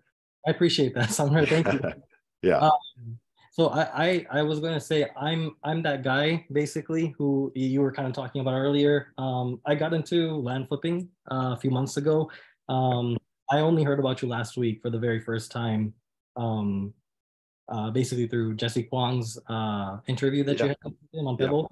Yeah. Um, but I, I made that mistake where I sent out range offers and I, I should have sent out blind offers in the beginning um but anyway i just i wanted to kind of throw that out there. But i have um i have two questions for you. One is kind of general uh and for the group and then one is kind of more specific to my situation but obviously i'm sure it can benefit everyone. Yeah. uh, the first question is you're talking about um you know remailing counties over and over again. Um is there ever a point where you feel like you know a county gets overfished and like you just you, you stop mailing that county or do you like is this your county forever or Yeah, dude. I, I, I, you know, it's funny. Like my own limiting beliefs get in the way, and I start to think, God, the party's over. Like it's got to be done. And I've yet to be proven wrong. We have had markets that have become oversaturated, not because of us, though. At least I don't think. But like Okay, there's just and usually you know what's funny where I've seen the real saturation is on the disposition side. Not that we can't still go get yield from our mailers, but I got to go compete with you know 200 plus other listings. When back in the day there was 30 or 40. A good example of that is Ash Fork, Arizona. It used to be a great market for me, right? Go buy 40s out there, go buy it for 20, sell for 40, 45 all day long. You could sell it in like less than four weeks typically. Um, funnily enough, Michael Bull's first deal was a buy for 20, sell for 40 out there. Ryland's first deal was a buy for 20, sell for 45 out there. And then now if you go look at Ash Fork, it's just like just so much supply. But I can still mail it, so still get a deal or, or with a high level of certainty. Um, one thing that I do do for the remailing is so we typically replenish our data typically annually. So I'm not going to rock 2019 data for remailing in 2023. Um, especially if the market's really hot, we might do it even a little bit sooner. If there's a lot of turn, a lot of properties turning over, I just have all the wrong names and wrong addresses, so it's like it's really no good. Um, but yeah, dude, I you know I always tell people uh, it's usually the best the best judgment call is going to be based off of what the cold hard facts are telling you, aka the data, aka the yields from the mailing, less so your stance on when you think a market goes sour. And so I've gotten in the way of being like, oh, it has to be done, and it's usually not done. And so I would just let the numbers tell you whether that's yield from your mailing. So you went and mailed twice, and let's say you mailed it previously, but the last two times it was crickets, or it was just a bunch of no's, or the pricing was off. Well, you might need to adjust your pricing when the party might be over, or alternatively, we go and this is usually more the tell for us is we'll go and look online and there's just a lot of stuff with big days on the market or a lot of supply and so usually it might be a bit of a more of a demand issue or there's just too much supply that's changed things but I've always been surprised. See you, Dan. Thanks for joining us, man. I've always been surprised at how these markets can withstand a lot of participants on the acquisition side. And I think that's partially a byproduct of, you know, a lot of what we do is really kind of time-based marketing. And so Ben could go mail someone tomorrow, and I could go send that mail to them uh, the next day. And maybe I get through to them, and Ben does it, and they pick me simply as a byproduct because Ben's letter never got opened, right? So I think a lot of markets can handle a lot more. They're way sturdier on the acquisition side than they are on the disposition side. That's a lot more sensitive because in any given market, there's only X amount of real buyers out there at any given moment. And so there's some markets that just literally can't support how much supply there is. Does that make sense? Yeah, that makes sense. Yeah. Yeah. Thank you. I appreciate that. Um, yeah. my my other question um, is basically so I'm I've got a, a lead right now where I've got a three acre property that's commercially zoned uh, in Ohio. Um, and basically, what's going on with this property is the, the property owner, he bought it uh, back in 2006 for 80,000. Um, he's willing to give it to me for a little less than 40,000. Um, but what, what's going on with it is got, it's got this, this creek that runs from like the southwest corner to the northeast corner. So basically just divides the land in half. Um, it's not, it's not one of those creeks that's like constantly running it's it's a creek that's like um sorry if you if you if you hear my kids in the background but you're good. um, um, but yeah basically this creek is it's like it's only one of those creeks that just fills up kind of a little bit after after the rain. Um but anyway i've been talking to the Ohio EPA and also the uh, army corps of uh, civil engineers basically and just to see like kind of like what what is the possibility of building over that creek um like they're very slow to respond so like i'm still i'm still in the process of talking to them but it seems like it's it's actually very easy. It, it's going to be a very easy process um to basically just build over it. Um my question for you i guess more so is because I, I i got um uh, an opinion of value on it uh, from a couple of realtors and one of them is actually um he he's a commercial real estate agent um, so he told me like kind of on the higher end, he said 150,000 on the lower end, 90,000. Um, but um, you know, he he obviously he he himself also has concerns with this creek that runs through it. He said, you know, if if that creek uh, basically affects the buildability of the land, you know, it really affects, you know, like you can only build on half of it, right? Because it just divides it in half. But again, I don't think that is going to be an issue. But um, really my, my my my concern i guess is the the owner he did try to list it a couple of times um i think in 2014 and uh, this is just based on some research that i did. I just saw the history on, on realtor.com um, but he tried listing in 2013 and 2014 uh, didn't sell. He tried listing again listing listing it again in 2019 didn't sell. And so i'm just wondering you know like is there something that i'm missing here yeah. that you know, like it, it's kind of making me a little bit fearful to to go forward. It seems like a great a great deal, especially if you know the creek isn't that big of a deal or an issue. But you know, like the fact that he tried listing it twice and he wasn't able to sell it twice, that's kind of making me hesitant. Yeah, dude, really timely question. Uh, and I'll try to give you my best answer on it. So before I do, let me give a little context. So on our on our uh, LIA call on Monday, we went through this deal that I'm working on that's pretty much identical. It's a commercial lot. It's in Washington. It's got a creek running north to south. It's actually three adjacent commercial lots. This creek is very small though, and it's only on like the front part of the property. There's like a small, very small little bridge that goes across it. Um, yeah, one actually one question before I dive into the story. Do you know is is this in like a true like flood zone or does it have wetlands on it? Like is the creek affecting the rest of the property? Based on what I saw um, on MapRight, it, it, it doesn't have any any other wetlands. But then the guy who I'm talking to from the Army Corps of Civil Engineers, he says that it has like what's called hydric soils, which means that there's po- the possibility of wetlands on it. Yeah. Um, and so he he told me like, oh, they have to go out there, they have to do a delineation on the creek itself, they have to do a deline- delineation on the entire property. And he said, you know, if there's like if there's actually hydric soils soils on there, then it's going to be like a very lengthy and uh, process and you have to apply for the permits and everything. And so he was kind of scaring me a little bit, but like kind of just based on you know the way it looks. And the the other thing is also because like across the street is like there's a high school next to it there's other office buildings. So you know really like that creek is only on this land. Like uh, everybody else around built over the creek right? It like right. So so yeah that's this is tricky man. So uh, I'll, I'll finish my story and then i'll kind of tell you my thoughts around this. So the, the going back to the context of this deal very similar. Um, the difference is the upside, right? So you don't really have much of a buffer for getting this wrong. So this deal that we're buying, it's 13 acres, buying it at 200k.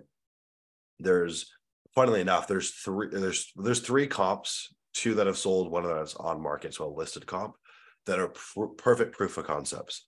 So we've got a 16 acre, less than like uh, probably 500 yards from this property, just a little bit north. That's 16 acres that sold at 3.5 million like a couple months ago, or it's actually under contract right now, 3.5 million. And this suffers from the same wetlands kind of issue. It has the same little wet, one time, the same little creek kind of running through it. Um, there's a, a, a, another four acre lot that's like I don't know 200 yards southwest of ours that just sold. It's a commercial lot. It's four acres. It sold at 350. And then there's a four acre commercial lot that's listed at 1.2 right now. That doesn't have any wetlands on it. So as you can see from this, like we've got a big margin of error here, right? The thing with the $3.5 million deal is they went and actually filled the soil. And so that's how that was their workaround. Someone's going to go build 250 apartment units on it. They spent $1.5 million tackling that problem. And I think it took a couple years to sell. I can't remember the exact time frame. So they had to, you know, buy the deal and then sink the cost of 1.5 mil and had to have that sit for a while. But there's still enough margin in it to, to make it okay. The risk with this deal here is that okay, our best case is 150, which is good, but let's just call it, you know, 150 is probably going to take a long time. Let's just say we're probably more realistically going to sell it 100. Well, we've got two different things that happen. One, that doesn't happen and we got to sell it way lower than that. Or two, there is a path to sell it at 100, but we have to go through soil scientists and all this rigmarole, which adds time and adds cost to the deal. So, like when I'm looking at this $200,000 deal, I'm saying if I have to fire sale this, I know tomorrow I could probably go get 350 or 400 for it or maybe it's a million dollar deal, but we have to go through all that rigmarole. So my concern is there's really just not enough margin to protect you. It's going to be really hard to get all those unknowns answered in a timely fashion to get the deal closed. You're going to probably have to do the deal with some risk in it, and I don't think I like that deal um, with that much risk. Now, here's the kicker, and I'm even thinking about doing this on this Washington commercial lot. Is your best bet would be to take this down with like an option contract, right? And what's cool about that is that, you know, we're all about, we've been talking a lot about double closes inside the group. But when we're looking at like commercial properties, this is very much the norm. And so for you to go lock it up on an option contract with, you know, a thousand or two thousand dollar option fee, that might give you six months or a year. You're framing that to the seller as this is for due diligence, which is true. But you can also go and market that property in the interim. And so I would rather see you out a thousand dollars if the deal goes sideways than 40, right? And I think, frankly, if you're new to the land business, you, you're probably going to use deal funders on that. I could be wrong. I think a lot of deal funders would have trepidation too. There's just a little too many unknowns for the limited upside. Now, this was a buy for 400 or for 40, and we thought we could go fetch 300 to 350 for it. People might take a swing at that because if we think about it statistically, like venture capital bets, well, you go make that bet 10 times and it plays out 20% of the time, or yeah, 20% of the time. Well, it more than makes up for the other eight errors, right? But right now, with the buy for 40, sell for 100, let's just say hypothetically, it probably doesn't play play out. The other thing is, I'm definitely not a commercial lot expert, even in the slightest. But what I have seen in the commercial lot game is, dude, these things take so long to sell. Because think about it, there is a very finite audience for for buyers for that thing. And so I think really, even if none of that stuff was was an issue with the the creek, I might still be more apt to go take that down with an option contract because I can go shop a buyer. And if I don't find one, then then no go. Ben gives us a thumb up. Ben's is our Ben is our resident commercial guy. And Ben will probably have, he might even have some feedback on this deal for you as well. Um, so yeah, man, that's my two cents. Frankly, if the seller, um, if the seller owns a commercial lot, they might be okay with that. They might understand, especially given the fact that it has the creek on it. Now, when we talk about the fact that he's listed it before, before I answer that part, do we know what he's listed it at, uh, at previously, price wise? Yeah, so he tried uh, selling it for ninety thousand, I think, the first time, and then I think the second time it was about seventy. Mm. That's concerning. Have you addressed that with him? I haven't talked to him about that. No. Okay. So yeah, I would I would address that with him and see what he says. I think it, I think it would be interesting just to, to hear his rationale. And maybe it's maybe it was personal and some life event happened and yeah, that's why I had to take it down. Probably not the case, right? Be curious to hear what he says. I would also use that as a negotiation point. Was forty thousand dollars the initial price that was uh, shown to him? Like, have you negotiated the deal at all? Um, I, I told him about uh, 35 and he really wanted more than that. Um, so he basically kind of came up to about 38. 30, okay. Yeah, I think you could probably work him down a little bit if you had to. But yeah, what I would really encourage you to do is go the option contract route. I think that's going to be the safest bet. Um, you know, these like commercial deals that we're looking at in Washington, these even these the ones that were priced relatively fairly still took years to sell. And so uh, it can be a tricky situation to find yourself in. I think you, if you want to have similar turn times that are familiar to us in the land business for other asset classes, you've got to be able to price that thing at a pretty smoking hot deal. That's assuming it doesn't have hair on it. I know a guy um, who really his whole business is doing this though. He goes and finds commercial lots, like big, you know, 40 acre lots in Texas that are like adjacent to like a Costco or something, goes and locks them up on an option contract either just goes and assigns it or, or, double closes with a new buyer. And so he'll go shop his network of, you know, Chuck E. Cheese's and Targets and whatever and try to get them to buy the deal. Or he'll lock it up on an option contract and go entitle that deal and add value through entitlements. And so he might take a lot that he's buying at 500, he entitles it, rezones it, and sells it for 2 million to a, an end user. I think that's more of a common strategy with commercial stuff. But again, I'm not a commercial expert. Ben, do you have any feedback to give on this deal? Uh, yeah, I'm just gonna say that as far as soil work goes, especially in the area like Ohio, we've I've done some development work on some development in Virginia, so it's uh, similar-ish, but I think Ohio maybe just a little bit better soil. Yeah. Soil work can get pretty expensive, so any end user that's going to be looking at a site, like you have to think, like like Sumner said, there's a very there's a very finite amount of end users for space like that. You know, is it going to be is it commercial? So that you know is that is that a high density multi-family commercial or is that you know a retail strip? And then you you have to think okay what's the feasibility for that? What's the end demand for the end user? Uh, you know, it's going to really limit it. And then you really just you, know, you look at what your total cost is and back into what a, you know find the land would be profitable for that for that end developer and then with this with the soil work that's going to be a majority of the construction cost and it's it, you know, it could get I see, which is probably why a lot of people looked at the site and said, "Oh, this is this soil work's going to cost a lot." I either needed I either needed a pretty big discount in order to pay for it, or I need a long option period and really study and wrap my head around the, the total cost and feasibility because you know other developers are we're probably looking at the same things like hey you know let me put it off, you know get a long escrow period on it and uh, well, I can go pay like the few thousand dollars for the soil study, uh, and that way, I'm you know they're only out you know five ten thousand dollars in, in dead deal costs versus having to pay seventy thousand dollars find out that you know, they have to pay to, to stabilize the soil and just below the whole project out. Gotcha. That's really good advice. One thing to tack on to that too. So when I'm looking, this is tangential, but when I'm looking at owners that have previously listed a property before, so think about it. Like we're we're dealing with typically in this business like a B 2 C transaction, right? I'm selling to Joe Schmo end user who's going to go pull his RV out there and shoot his guns. This is more of a B 2 B transaction. I think these these markets, like a commercial lot, I can't imagine in this town value has increased exponentially from 2019 till now. But when it's a B2C transaction, I've seen that these markets can be a little more fluid. Like it can change a lot for what someone's willing to pay for a deal. So we've bought deals that was listed by either a realtor or the owner for you know FSBO, and then they had it listed a couple years ago. We buy it from them and we're able to sell it. And I think that can change. But I would reckon, being if there was five or ten players that were interested in this market, if they didn't like it in 2019, it's hard to think that a lot has changed there. And I'm not like a macro economist. I really don't know. But I would think it, that those developments and areas can take a long time to shift. And so I'd be shocked if in four years it's become a, a, a prominent market that people want it. You know, get 70K, it's like that's a pretty smoking hot deal, I'd have to think. Uh, and prices have appreciated for land a ton since 2019. But I don't know if for a developer to come in, like they're not just looking at this town's appreciated, they're looking at like job growth and population growth. I don't know if that stuff has really increased that much in 2019, from 2019 till now. That would actually be an interesting data point to go look at. I look at the population growth, look at the average median income, look if there's any job growth. Because if the stuff has changed more kind of a macro level for that town, well, hell, maybe there is more value in it now, you know. But I would have to guess that some uh, of uh, the few buyers that were were a good fit for it looked at it in 2019. There's probably a reason they turned away from it. And so I think the option contract's the angle here. Okay. All right. Thank you, Sumner. Thank you, Ben. Appreciate it. Yeah, for sure, man. That was a long-winded answer, but that was a good one. That was good. Um, ben and Damon, I'm going to get to you guys here in one sec. We got a question that was submitted in the chat I'm going to answer. So our friend Arlen said, Sup, Sumner, appreciate you taking the time to do these.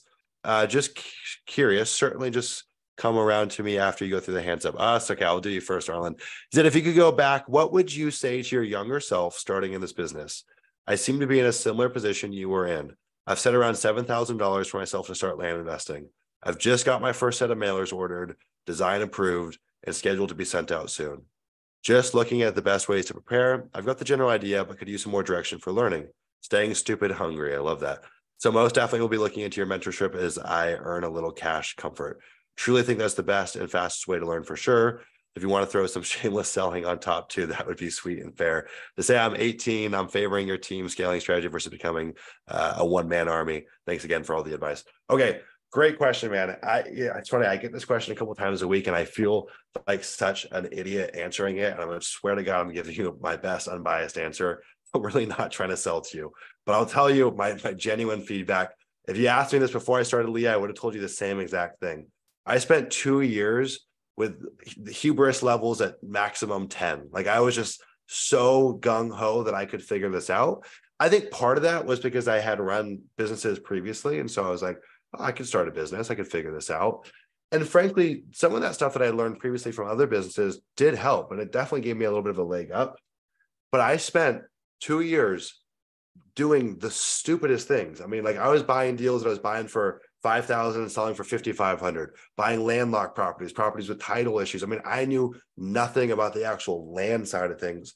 Maybe I knew a little bit about business, but even that, my, my knowledge was pretty limited.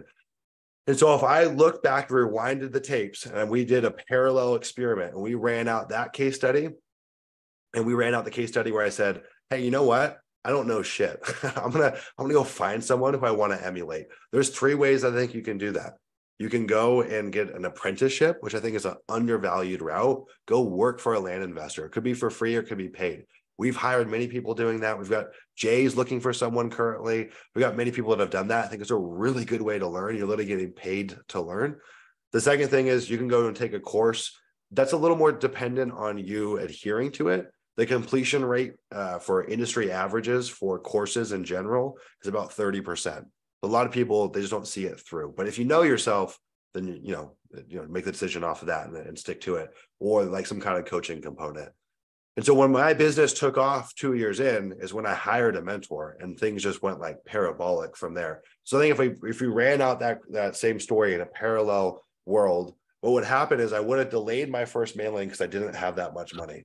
So I would have gone and paid someone. But the thing is, I had income coming in from a job. So every month I could shell out about $1,500 from my job. That's the part of the story that I guess I really don't tell is that I spent seven grand and really not much happened. And so then I had to go draw money every month, 1500 bucks or so for my, for my W-2 and, and start throwing that in, right? Because I just didn't know what I was doing. And so if I, if I play that out in a parallel universe, one, I remove a lot of the risk, I remove a lot of the pain. And I and I'll tell you a few stories. I really got lucky in a lot of senses, but I think my efforts compound faster, right? I usually tell someone if you're doing this business solo, no education, expect six to 12 months to get your first deal. If you're in some kind of education environment, 90 days to 120 days is a little more typical. I would pay for speed, even if that means I'm gonna have to delay my mailing a little bit. I'd pay for speed and I'd pay for a sure thing. So that's my story. And frankly, I think I got really lucky. Every month we get, ah, I don't know, three to five people that call in that are kind of in this, they're in this state where it's like they're on life support in their land business. When we get, I had a guy that called in that spent a hundred thousand dollars on direct mail and had zero deals. Andy Barlow spent 40 or sent 40,000 mailers, put his life savings on the line and got zero deals. We had a guy uh, on Monday spent 25 grand, had zero deals. And so whether it's education or not, I mean, I would advise going that route. But even if you don't go that route and you say you're going to do it on your own, I would recommend delaying your mailing as much as you can because if you got to look at it like this, you got a few bullets in the chamber. You want to take those shots really wisely. So I think a lot of people are, are I want to get the phone to ring, I want to get leads coming in. And frankly, it's because people paint this business as being simple, and it is simple, but it's not easy. I think anyone in this room can attest the fact that they're doing deals. This business is not easy. It's very simple though. And so I would just say, whatever you do, if you've got a few bullets in the chamber, get education or delay sending that out and try to get in the right rooms. There's free ways to learn. Bother people, cold email people, get in Discord, try to find an apprenticeship, create a buddy system, right? Go find someone that's one step further than you or the same step and work together there's a really interesting phenomenon that happens. Arlen, let's say that you are one, and let's say you get two people in a room. You think the totality should be two, but in fact, it's three or four. Like collective thinking is, is really powerful. And so trying to create some kind of accountability and getting a second pair of eyes on the work that you're doing, um, it would be really advisable. So yeah, man, it's it, it's tough advice because it's like, yeah, I pulled it off, I did it, but it took me two years. That's a freaking long time. Anthony Reese just left this call, but Anthony Reese came in zero real estate experience, came in and in 90 days locked up two deals. They're going to make him 150K, no money out of pocket to buy those deals. And he's just been using his bartending job to cover his cost of mailing. So he put his lump sum towards education, bartending funds towards mailing. I think that's a pretty wise way to skin the cat because you really don't need to drop 7K now on mailing. You need a thousand to three thousand dollars a month to float you over a 90 day period or so to get that first deal and then you're playing with house's money. So i swear to god that's an unbiased response. I'm really not trying to pitch you. It could be me it could be anyone else. Delay that mailing and get education or get a buddy get apprenticeship get some kind of support would be my best my, my best two cents to you um, outside of that there are a lot of good material. There's a lot of good material online too. So I, am sure you watch some of the YouTube videos, but I mean, sometimes it's about rewatching videos or watching all the videos or finding other videos online. You know, when I first started and it wasn't perfect, I went onto Facebook. I went to the Land Geek Facebook group and I found a back door to get uh, access to the recorded calls. They used to like put up links to recorded calls. I watched every recorded call from them. I went to Land Academy, Jack and Jill. I watched every video they ever produced, which I think is damn near over a thousand videos. And even then, it didn't set me up perfectly, but it gave me a decent enough launch pad. So get really hungry and consume information and delay the action, which I think for most people in most business environments, they need to do the opposite, right? Most people, when they're starting a business, they're in this paralysis analysis trying to learn and they never do. The problem is our doing has a lot of risk associated with it. So I would, I would delay the doing. Arlen, I hope that helps, man. If you need any support, drop a note in Discord. I always tell people use and abuse the community, right? Ask questions, get involved. and answer other people's questions, right? One of the best ways to learn is by teaching. And that sounds ironic, even though you're just starting, but providing your two cents can be valuable. So hope that helps, man. Hope to uh, get on a call with you in a year and you're, you're kicking ass and taking names. So uh, keep at it, man. I think you're 18. I'm not positive, but if you are, that's that's insane. I wish I started when I was 18. Uh, Mr. Benjamin, I know you've been uh, on hold for a minute there, so let's let's get to your question. No, good. Um, so I'm sh- shifting gears. I, I, know I only could catch like maybe 20, 30 minutes of the uh, of the call you had in the LIA group yesterday as far as building out the team yep. goes. And I, the, my question is, you how do you, how does your day to day, week to week cadence go with your team and checking in? Like how you know on a on a day to day, where are you checking in? It's like okay, you've got your KPI set. Like who are you who are you speaking with more frequently? What yep. what goals are you tracking? What you know what meetings are you having with, with the team, and what what are you trying to get as the uh, as the owner CEO of this of your land business? Yeah, yeah, yeah. Yeah, dude, I don't know if you missed this part, but it's it's actually pretty crazy how distant I've become from my business. I think especially as, as I've started up LIA. I mean, I probably work in my business an hour a day or so. Mm-hmm. Um, but I think that's a testament to building good systems. And that frankly, for a while, that kind of scared me. I'm like, felt negligent, but everything is, is still humming along.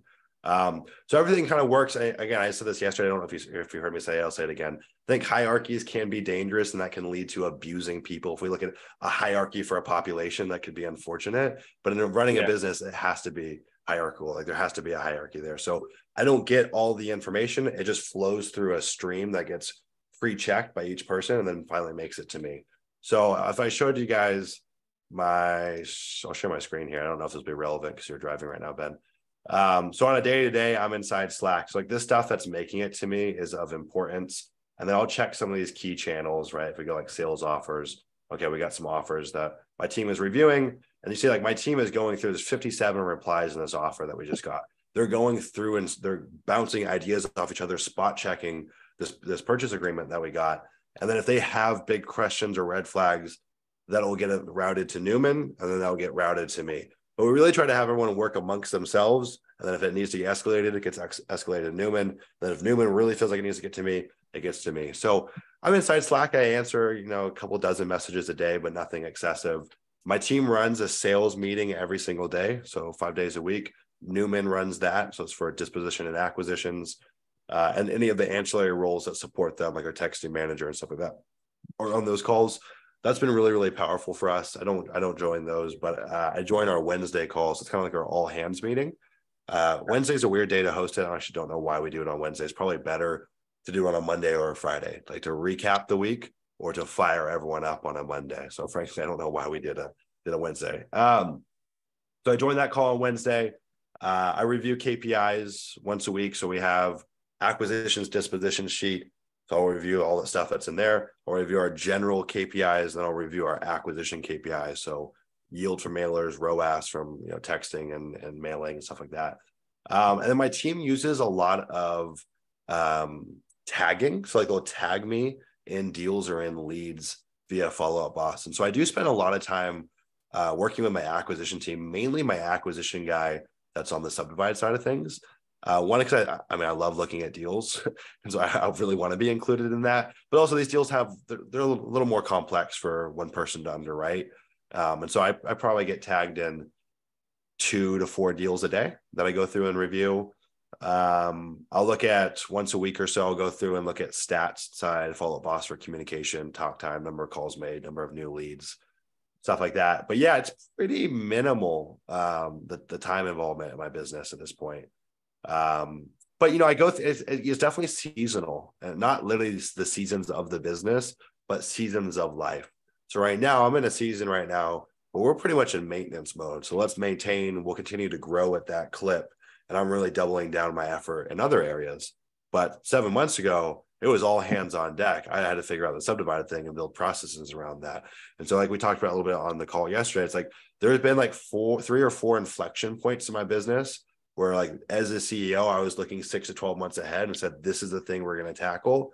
I get very involved, build a system, and then let it play out and kind of step back a little bit. So odds are what I'm doing now might the intensity might ramp up six months from now. I always think about, I don't know if anyone here is a fan of Naval Ravikant or read any of his work. The Almanac of Naval is a phenomenal book. Really recommend it. Um, he's got this saying that I think is so apt to to kind of how most of us should be working. You know, once you're out of that kind of like hunt to kill mode and you're doing everything yourself and you're starting to create leverage in your business, you really want to start looking at am i am i grazing? And grazing would look like being like a cow right? Am i answering emails all day? I'm on calls all day. I'm slacking people all day.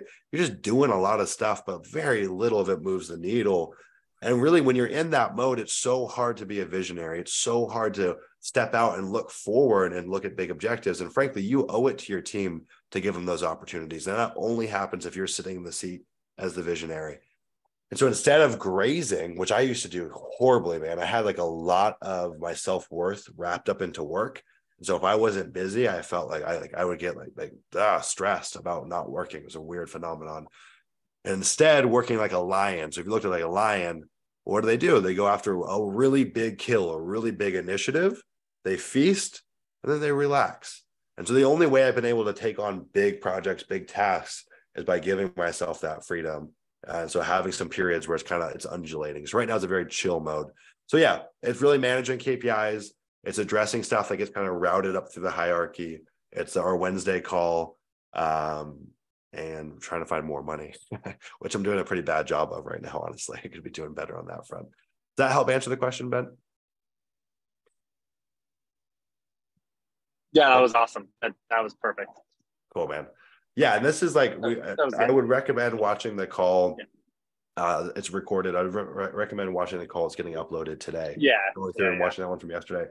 You know, really, if I distill down what should we be doing as the CEO, and you can use this to cross-reference what you're doing now and say, okay, A, am I even doing those things? Because if I'm not, let me add those to my plate. And then B, am I doing way more than that stuff? And if you are, start to try to peel that off and delegate and create a system around it. Um, but really, like again, spending time thinking. I know that's crazy to say, but like thinking, being looking forward, spending time reviewing deals. So I call it blessing deals, not reviewing deals. Let my team get it in a place where it's ready to get a yes or a no. I don't want to DD a deal. I want a deal to come pre-DD to me, and I say yes or I say no. Um, for some of you guys, you you will do that with offers. I pretty much trust my team entirely for acquisitions and dispositions to accept an offer or make an offer. I pretty much put no breaks around that. That took time to get there. Um, the next thing is reviewing KPIs. And the next thing is finding money. That's really it, man. And like that really does not take, should not be a 40 hour work week thing if you're working effectively. That takes time to get there, but I think that's kind of the North Star to work towards. Um, so, but frankly, like there's a counter argument to this, which is, That's dude, I love yeah. doing this business and I don't want to free myself up from looking at deals. And I feel that a little bit as well. So I still am probably overly involved at looking at subdivide deals because I just, I like it. So. Cool.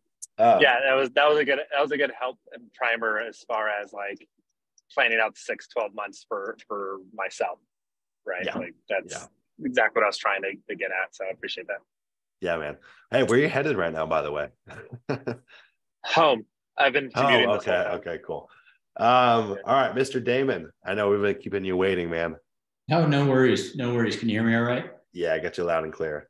Perfect. Um, so a lead came in today and it's it's a situation I want your opinion on it's it's one parcel, okay. but it's two squares that meet at a corner Okay. With a 20 foot easement, basically from one, you know, one parcel over the corner to the other parcel. Okay. There is road access to one parcel and it basically the road ends at that parcel. So the other one is essentially landlocked to some degree, except for that easement. And I guess the question would be is really about uh, number one, valuing it, and then number two, you know, is it is it worth looking at a play to you know bring in a road crew and you know extend that road through the one property across the corner and then physically divide them up sell them separately i mean what do you do when you run across something like yeah. that so uh, before we address it let's talk about in your assessment what are these properties worth how big are they and where are they Okay, so 37 acres roughly each, so 75, 74 total. Um, they're, you're familiar with this area. They're north of Weston, Colorado, um, Las Animas County, which is it, this specific, this is Burrow Canyon, which is specifically probably a 15 to 1700 dollar market uh, per acre. Okay. Um, the agree or the offer was $800 an acre offer. So, and that's my question is, you know, if there are two separate parcels with two separate accesses, you know, it would, the, the pricing seems to make sense. Yeah. But, you know, to pay 800 bucks an acre for 74 acres and really 37 of it is kind of the main parcel and the other is just the little, you know, offshoot that, you know, is landlocked unless you own the one parcel. That's kind of the situation. Yeah. Do you do you mind if we get in the weeds? Could you share the APN so I could pull it up and we could go through Yeah. it all together? Yeah. It'd be helpful to get a visual. I, I mean, I, I know what you're talking about, but it is a little hard Yep. to get a clear read on. So I want to make sure I give a fair advice. You want to put that in the chat? Yeah. My my first thing though, and we'll we'll talk about it as we get this pulled up. I would I'd be hard pressed to imagine a situation where it makes sense to do any kind of road improvements. Hey, see you, Ben. Thanks for joining, man. Um, yeah, it'd be hard pressed to see a situation where it makes sense to do any road improvements on this. So that I feel pretty skeptical on. Um, there is an easement though. So this is in Las Animas County. Yes. Okay. There is an easement. Um, it doesn't sound like it's going to be too terrible. So I think I think as is, there's probably still value, but let's just go confirm. This is a market I like too. I like Weston. It's a pretty area. Didn't you say? Didn't you say you owned a property out there? Yeah. And I, I own some land in Picketwire, which is east of Oh, this. dude! I did I tell you I sold a, a, a deal? No, I, I sold the deal in Picketwire, and we actually have one listed right now. If I you know. want to I, I drive by your, in fact, I'm going to drive by the one you've got listed tonight. no way, Yeah. dude! That's so cool. Hey, is it a nice property? It is. Uh, it's the, the road getting there is a little sketch off the Yeah. main road. Um, and it's tough to tell if there's access from the north, but from the south, um, it, it, it seems a little bit topographically sketch, but Yeah, there's some flat stuff down at the bottom yeah. For buildable. Yeah, it's a little steeper than the other one that we sold. I think someone will still buy it, but Yeah. you go out there on the weekends just to hang out. Yeah, my family and I just kind of go down and ride UTVs and screw around. Ah, I re- you know it's so funny. I so I mean like I fell in love with Southern Colorado and this land business, like more so than any place. Those are where I first started doing a lot of deals, like Alamosa County, Costilla County, and yet I've never been there. And so it's been a actually Michael Bull and I have talked about doing a road trip out there. We've Come both out. probably done a hundred plus deals there. Yeah, Uh, come out. We'll, we'll Yeah, man, we'll have to go drive some ATVs or go rip some dirt Yeah. bikes. But the Sangre de Cristo is like that is such a beautiful mountain range to me. So I'll, I'll have to let you know when I make it out there. and the Spanish Peaks, the two, the two peaks. Yeah, it's awesome. So this this lot here, um, owned by Mr. Hill, I think. Yeah, So- Fletcher Hill. Okay, what you said? There's a second lot that's connected to it. Well, it, so if you, I can't see your screen, but if you look Oh, my at, bad. Oh, sorry, guys. I always do this. It make, makes for the worst content. You know, so I don't even share my screen for you guys. Let me do that. Here we go. okay, so the, the one you've got is, so down to the bottom and right. This. Yep. Sorry, I'm trying, yep, that one. So those two are actually one parcel according to county. Oh, interesting. Yeah, I've noticed there's some mapping issues in Las Animas County. They get they get a little screwy sometimes. Okay. That- That's why this lady's so interested is I think people are mailing this wrong. Yeah, yeah, because you can see right here. Here's the the lot area. Yeah. So this is is this over hundred acres or is it seventy acres? What's the story? It's thirty-six each, thirty-seven. each. Okay. Okay, cool. And you got it at eight hundred an acre. Um, what what's the actual price on that? So I don't have to do public math here in front of Oh, everyone. it's like uh, fifty, hold on, I'll tell you. 58, 59. Okay. Okay. Yeah. So I would not, I, I would not do any road work on this. I don't think anyone's really going to care. And frankly, this, this thing looks pretty steep right here. Let's go look. Yeah, parts of it. And again, I, I don't think anyone's going to be concerned about that. I, and I think that, you know, let's just say we list this at a, at a hundred. I don't think there's anything competing with you at a hundred out here for this No. size. My one concern, actually, more so, is the road getting to it. The actual road looks a little. I've been on it. It's not bad. Oh, really? Okay. Okay. And I'm actually going to walk it tomorrow. Okay, sweet. Uh, well, dude, if I ever have some deals for you to to walk, Yeah. I'll, I'll hit you up if you're in the area. Yeah. Yeah, so this one would be this would be too, way too crazy to do anything on, but this is I, this is no big deal in the slightest. I like this little building pad they have right here too. This is this is a nice property, man, with the views of the the river. Yeah, that is a river. Views And of the river. You can see the Sangres from both both Oh yeah, parcel, but you there's a Spanish Peaks. Yeah, this is awesome. Oh, I like this property a lot. okay. Okay, uh, let's go. Let's go price it out though. Let's just go look at some comps on this.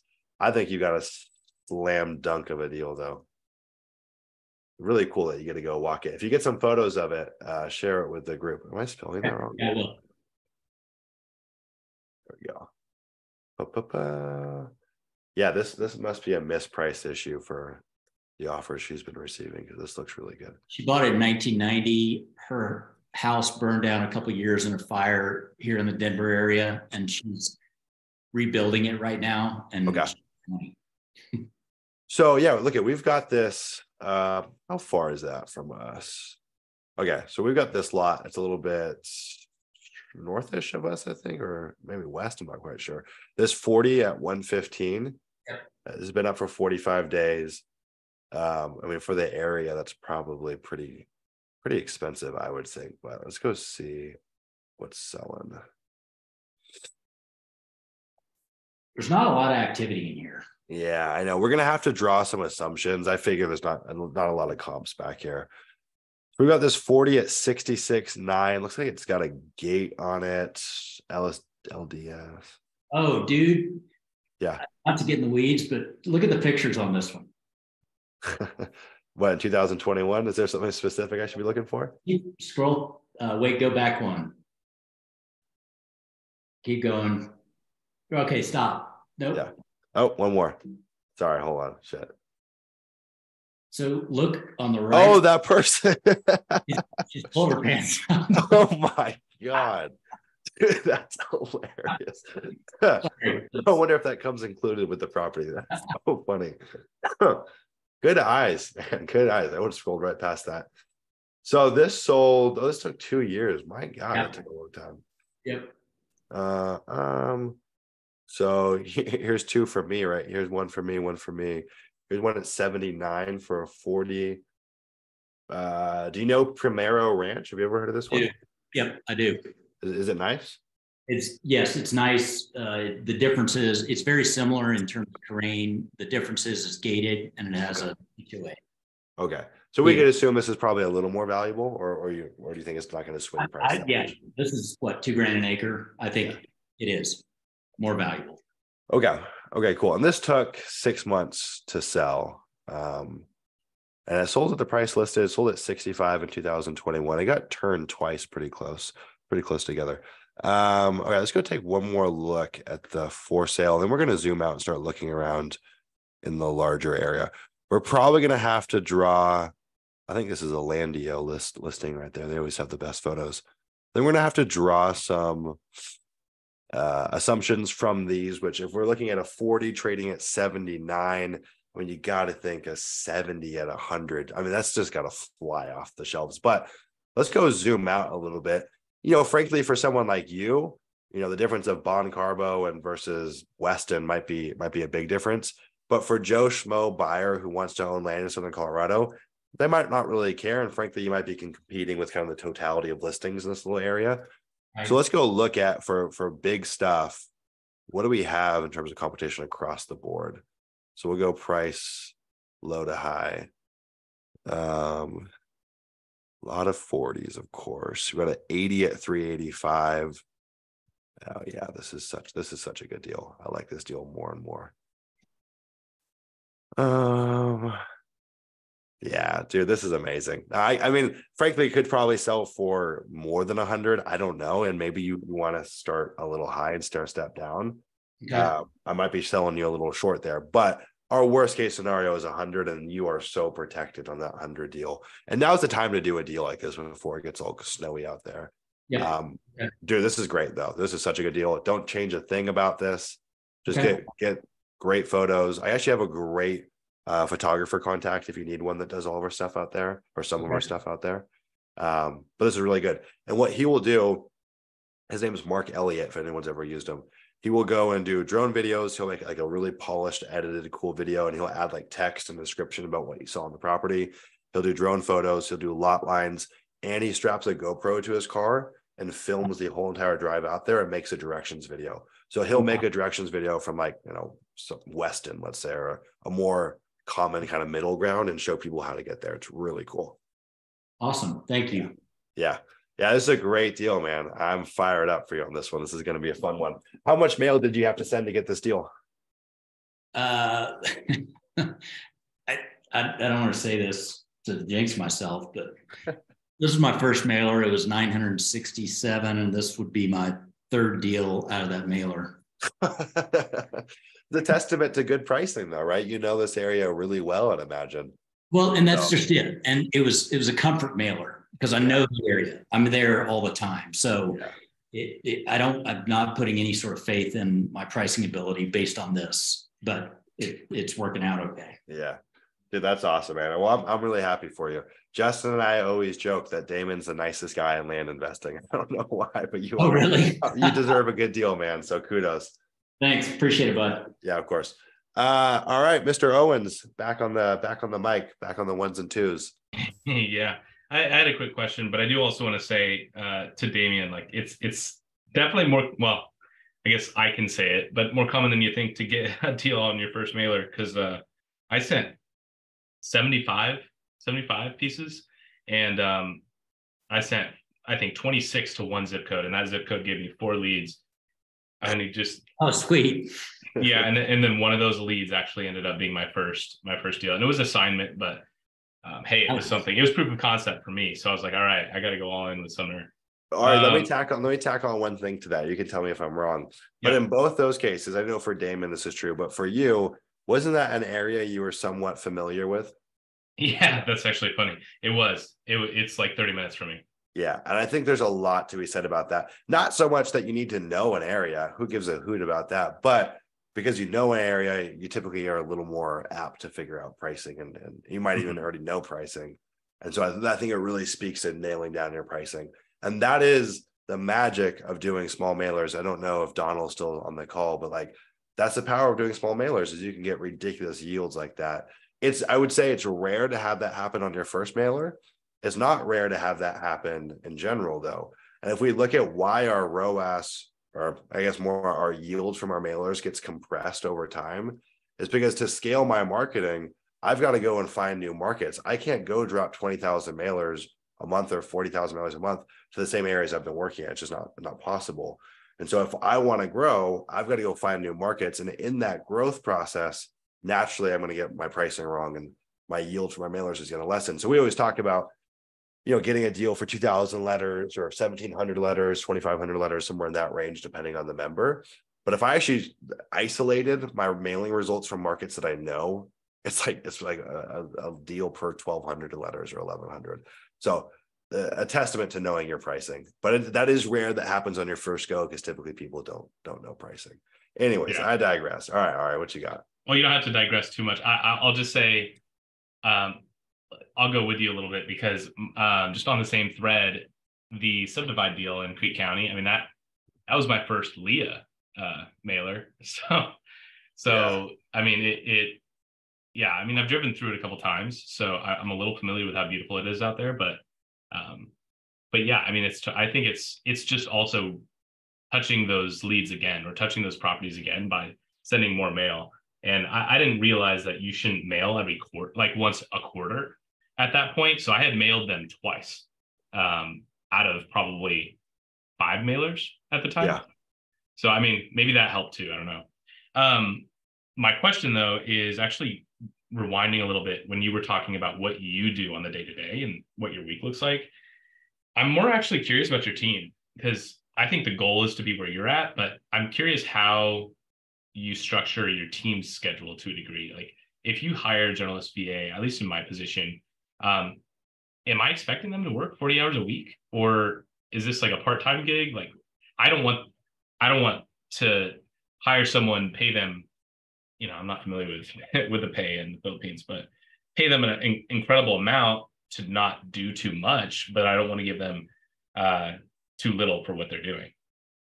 So is this for any role or just for a generalist VA?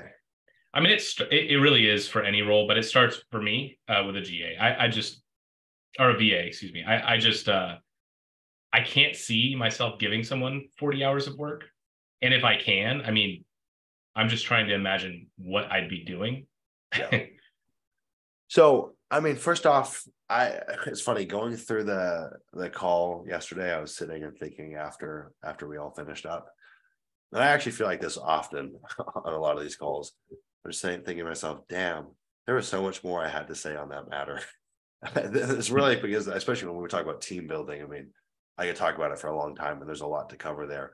One of the things that I wanted to address yesterday, though, is that when I was telling you guys the two different archetypes for hiring, so you've got your FTEs, full time employees, and you've got like the contractor types. What I don't like saying is people that get them confused and they'll have FTE type roles, but they have them working part time. I don't think that ever works. I'm a real big proponent. If it's going to be a part timer, uh, you're not going to have a part time generalist VA. You're going to have a part timer that does a portion of whatever generalist VA would do, right? So they're going to go and scrub your data. They're going to go and hmm. find your markets, whatever it may be. But I don't like someone that says, I'm going to have a part time acquisition manager. Just, I have never seen it play out. Um, so the truth is, I mean, on one hand, yeah, you might incur a little bit of cost if you have someone at 40 hours, but you're going to get a better candidate. You're going to get buy-in from them. Um, and so, you know, maybe for the first few weeks, you don't have enough work for them. But the goal is to get someone in, let's say in the case of the generalist VA, to free you up to create more opportunity in your business, therefore giving them more to work on, sure. therefore being able to go hire more people. So you're talking about a very small lapse in time. Okay. Uh, you might be paying them an extra $300 a month that you really don't need to. Um, but that's on one hand. I think there's truth to that, but more that's common. If I look back at my first time hiring or my first few times hiring, this was a recurring thought that I had. I don't have enough work for them. What if they rip me off? What if I'm overpaying? What if like all this negative self-talk? And what I found is when you bring someone on, it's like you start, especially as you start delegating, you start realizing the power of it. And you're like, dude, I could delegate this and this and this and this and this and this. And then soon they're like, I can't take on anymore. You keep on giving me too much to do. So I'd be be shocking if you if you didn't have 40 hours of work for them. Maybe not now. I, I where sure. you're at, I would not encourage you to. I think you're more in a position where it might make sense to have a contractor who's doing pieces of the business for you, but not a contractor wearing the hat of a role of a full-time person. Does that make sense? So yeah, like, that does. That yeah, does, I don't yeah. like I don't I, I've never seen that work. And frankly, it's like a realtor that's willing to take a 1% commission. It makes you ask some questions. Why are they willing to do that? It's the same thing. Like if you're such a grade A player, which when we're talking about FTEs, we're really talking about hiring skill. Like if you're not bringing in people that are good, not, not necessarily good at that thing, but just like skilled humans, right? Like we talked about yesterday, a lot of mm-hmm. what we're hiring for more soft skills, but they got to have those skills there. So if they are a grade A player, you got to think about this in terms of a marketplace why is someone else not picking them up? Why do they not have the opportunity to get a full time job elsewhere? If they're willing to take a part time job with me and they've got all these skills and they're really a good candidate, that's actually a big red flag for me. So I think a lot of the A players on my team would never have taken a part time role. So, like, by virtue of searching for that, you start whittling down the candidates and you're kind of looking at the worst of the worst at that point. So, I think you'll know when it's time to hire I don't think it's now, but I think when you do, that might still be a recurring thought. And I'll walk you through that. Right now, I'd say, all right, it's not time to hire. But when it's time to hire, you even sure. might have trepidation, but I'll tell you with certainty that you're ready for it. Um, and in the event that they're burning 10 hours a week, but you've got a great player on your team, so be it. Because the goal of them is to free you up to scale. Um, yeah. Um, so it's a very short term thing.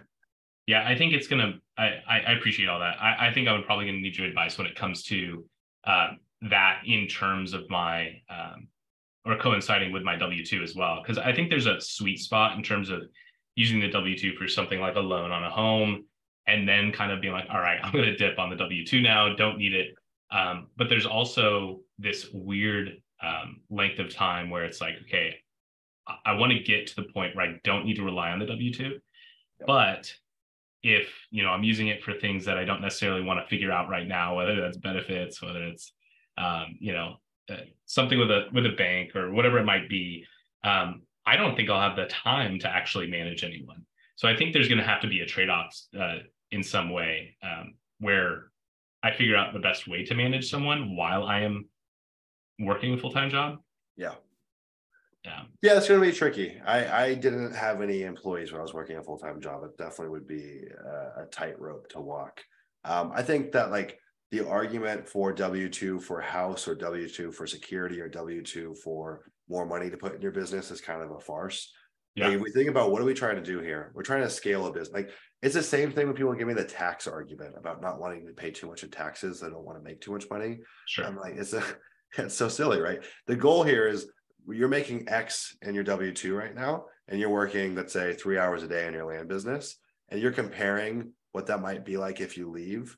But the, the truth is, if you leave your W 2, and let's say in the terms of getting a loan for a house, you can't, well, I can guarantee you in two years going full time in your business, you can buy a house for cash. Like it won't even matter. Not that you yeah. would, but that just becomes a relevant problem pretty quick. And so I think a lot of times people confuse the two and it's like i'm going to stay in my job for security or for the income that i can put into my business and this is exactly what i did um, and i got called out for it by my girlfriend at the time and it was wise advice but it was really hurtful i stayed in my job for about six months longer than i needed to because my rationale was a i don't want to take money from the business i've always been against taking yeah. money from businesses i want to pour as much capital into them as, I can. Any business I run, I like take a measly salary from it. Um, and then the other rationale was what well, I can, you know, set aside like fifteen hundred bucks a month from my paycheck, put back into my business so I can grow faster. Right. What I wasn't factoring in though is what what is what can I do to my business with 10 to 12 hours a day of relentless focus. I will yeah. out return any of the additional benefits of not taking money or the 1500. Like, it will become irrelevant so quick. Um, yeah, that's, really so that's a totally tangential point to hiring, but I'd say don't rationalize staying in your job longer than you need to. Now, there's people that jump ship too soon, and, and you got a family, and I know you're you're calculated, so that's obviously not something that you would do. There's some people that are way too quick to do it, but I think if I had to generalize, people probably hang out longer than they need to, and I was one of those people. That's super interesting. Yeah, uh, yeah, I'll definitely take that into consideration because uh, it's been a thought that's crossed my mind. It, actually, it's funny you say like there are some people who jump ship too soon because that's also me. That was past me. Um, I I you know got into wholesaling, didn't have a family at the time, and I, I used to work at a gaming company, and uh, I was making really good money, and I was on uh, you know on the path to become uh, a very good corporate employee, and I just I was like, no, I see what wholesaling can do, and I just jumped ship. Um, and in, and in Los Angeles, no less. I mean, there, I, I either had to pop off and just kill every deal, every lead that I got, or I was going to fail. And I just, I fell on my butt, man. So I, I get it. I learned my lesson, not going to do that again. That's why I think I probably err on the side of caution. Yeah. Yeah. There's wisdom in that. Uh, wholesaling in LA is no joke, man. That's, that's a huge undertaking. Um, well, yeah, it's obviously a different dynamic when you have a family, and something that I've had to tell people, and something that really like helped me walk me off the ledge, is you know all this like fear stuff starts coming up that's like really deep rooted, yeah. like in the human psyche. Like I'm talking like evolutionary fears of like not being able to provide, going hungry, not having shelter. Like you're just thinking worst case, worst case, worst case. And everyone in this group is extremely fortunate to have been born in North America, whether it's Canada or the US it's a pretty hard place to go hungry if you've got a good head on your shoulders, right? And so even in the event, like if your business crashed and burned, either getting a new job or a new starting a new business is like actually not as difficult as we make it out to be. And so I needed to play this game of of literally like I would visualize the worst case and map out what I would do, and I was like, yeah, it's actually not that bad. And so yeah, I mean, I, I, don't know who I'm speaking to here. It doesn't sound like I'm speaking to you necessarily, Ari, but I think it's a relevant question because I think a lot of people that are making money in a land business and have a W 2 are, are thinking those thoughts. Um, and if you've got a proof of concept, you've got a little bit of a nest egg, you can forecast in your business. It, it's it's time, but I think you, you you have a little more time there. I think getting this subdivide deal done, getting your pipeline with a few more deals. That's that's also part of it. It's having a pipeline, sure. right? Having revenue that you can forecast and theoretically depend on, or some of it at least. Uh, There's really definitely a lot of tools that you've given us that uh, that set you up for that success, like PATLive or Pebble. And I'm curious, um, one of those other things that I know you do to an extent is seller financing or financing terms. Yeah. That that's something that I was considering um, with you know the few, few leads that I have that I know aren't deals is like what can I do with them to create a, an owner financing situation where at least I get some money back. And I think that's the issue is like I'm not sure that play should should occur initially. I think you know to use house's money, for example, maybe we focus on flips until we get to a point where it's like, hey, now I can I I can get a bad lead and be okay with it. I can make it work. Repeat the question in terms of owner financing. No, you're, you're good. You're good. Uh, I'm. It's not necessarily a question. It's just like understanding when the best time to to actually implement that in your business is, especially owner if you're trying yeah. to. Because you you wanted to use your job for that, right? Like, hey, I'll use my job's income um, to kind of push money into my business, and I'm very similar. We're using a lot of my my uh, my W twos money just straight into it, and so when is it ideal to to start doing that with owner financing deals?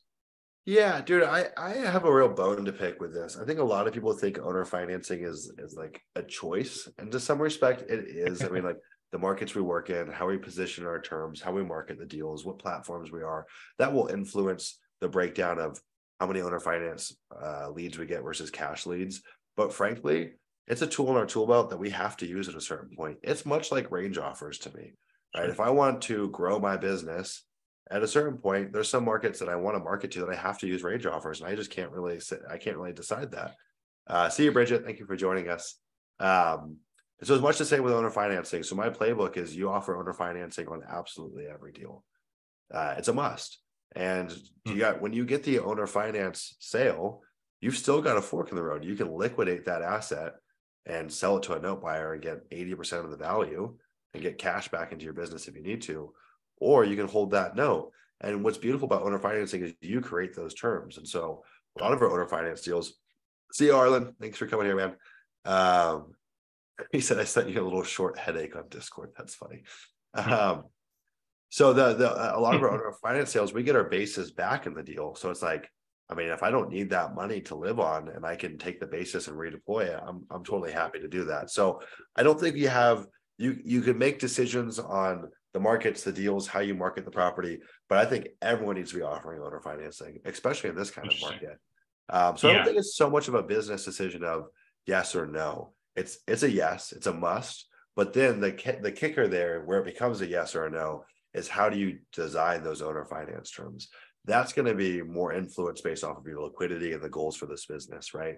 Because there you have a lot more latitude. You could say, hey, I'm cool with not getting my basis back for 12 months and I want to sell it quick and I want to get cash flow from it quick.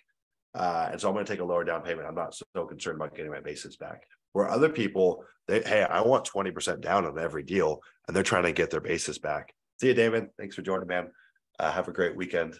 Um, that's where you have a little more latitude to, to make decisions. Does that make sense? So it's like owner financing is a must. I think like you can't sidestep it, and then you have freedom around how you design those terms. So, so I'm curious in a, in a world where you could sell every single one of your notes for 80%, and that was always that 80% was more than you actually invested in the deal, um, or more than you maybe would have gotten had you sold it cash anyway. Yeah. Uh, because you, you know, that particular deal went owner financing specifically because there's something wrong, or maybe there wasn't a high cash offer. In that world where you could sell every note like that, would you?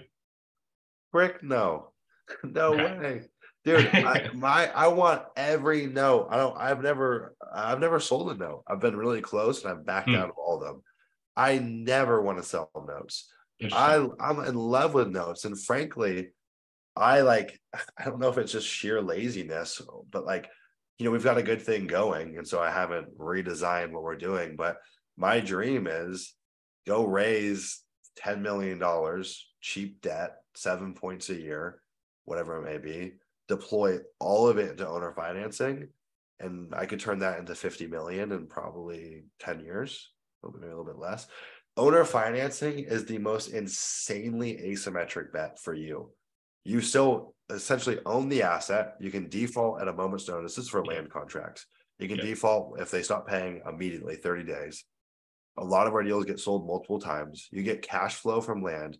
It's a crazy return. I mean, like a lot of our deals at worst are a 12 month payback, but a lot of them are either basis back immediately or basis back in a few months. Yeah. That's a ridiculous situation to be in. And you're you're able to turn an illiquid asset into a fast turning asset.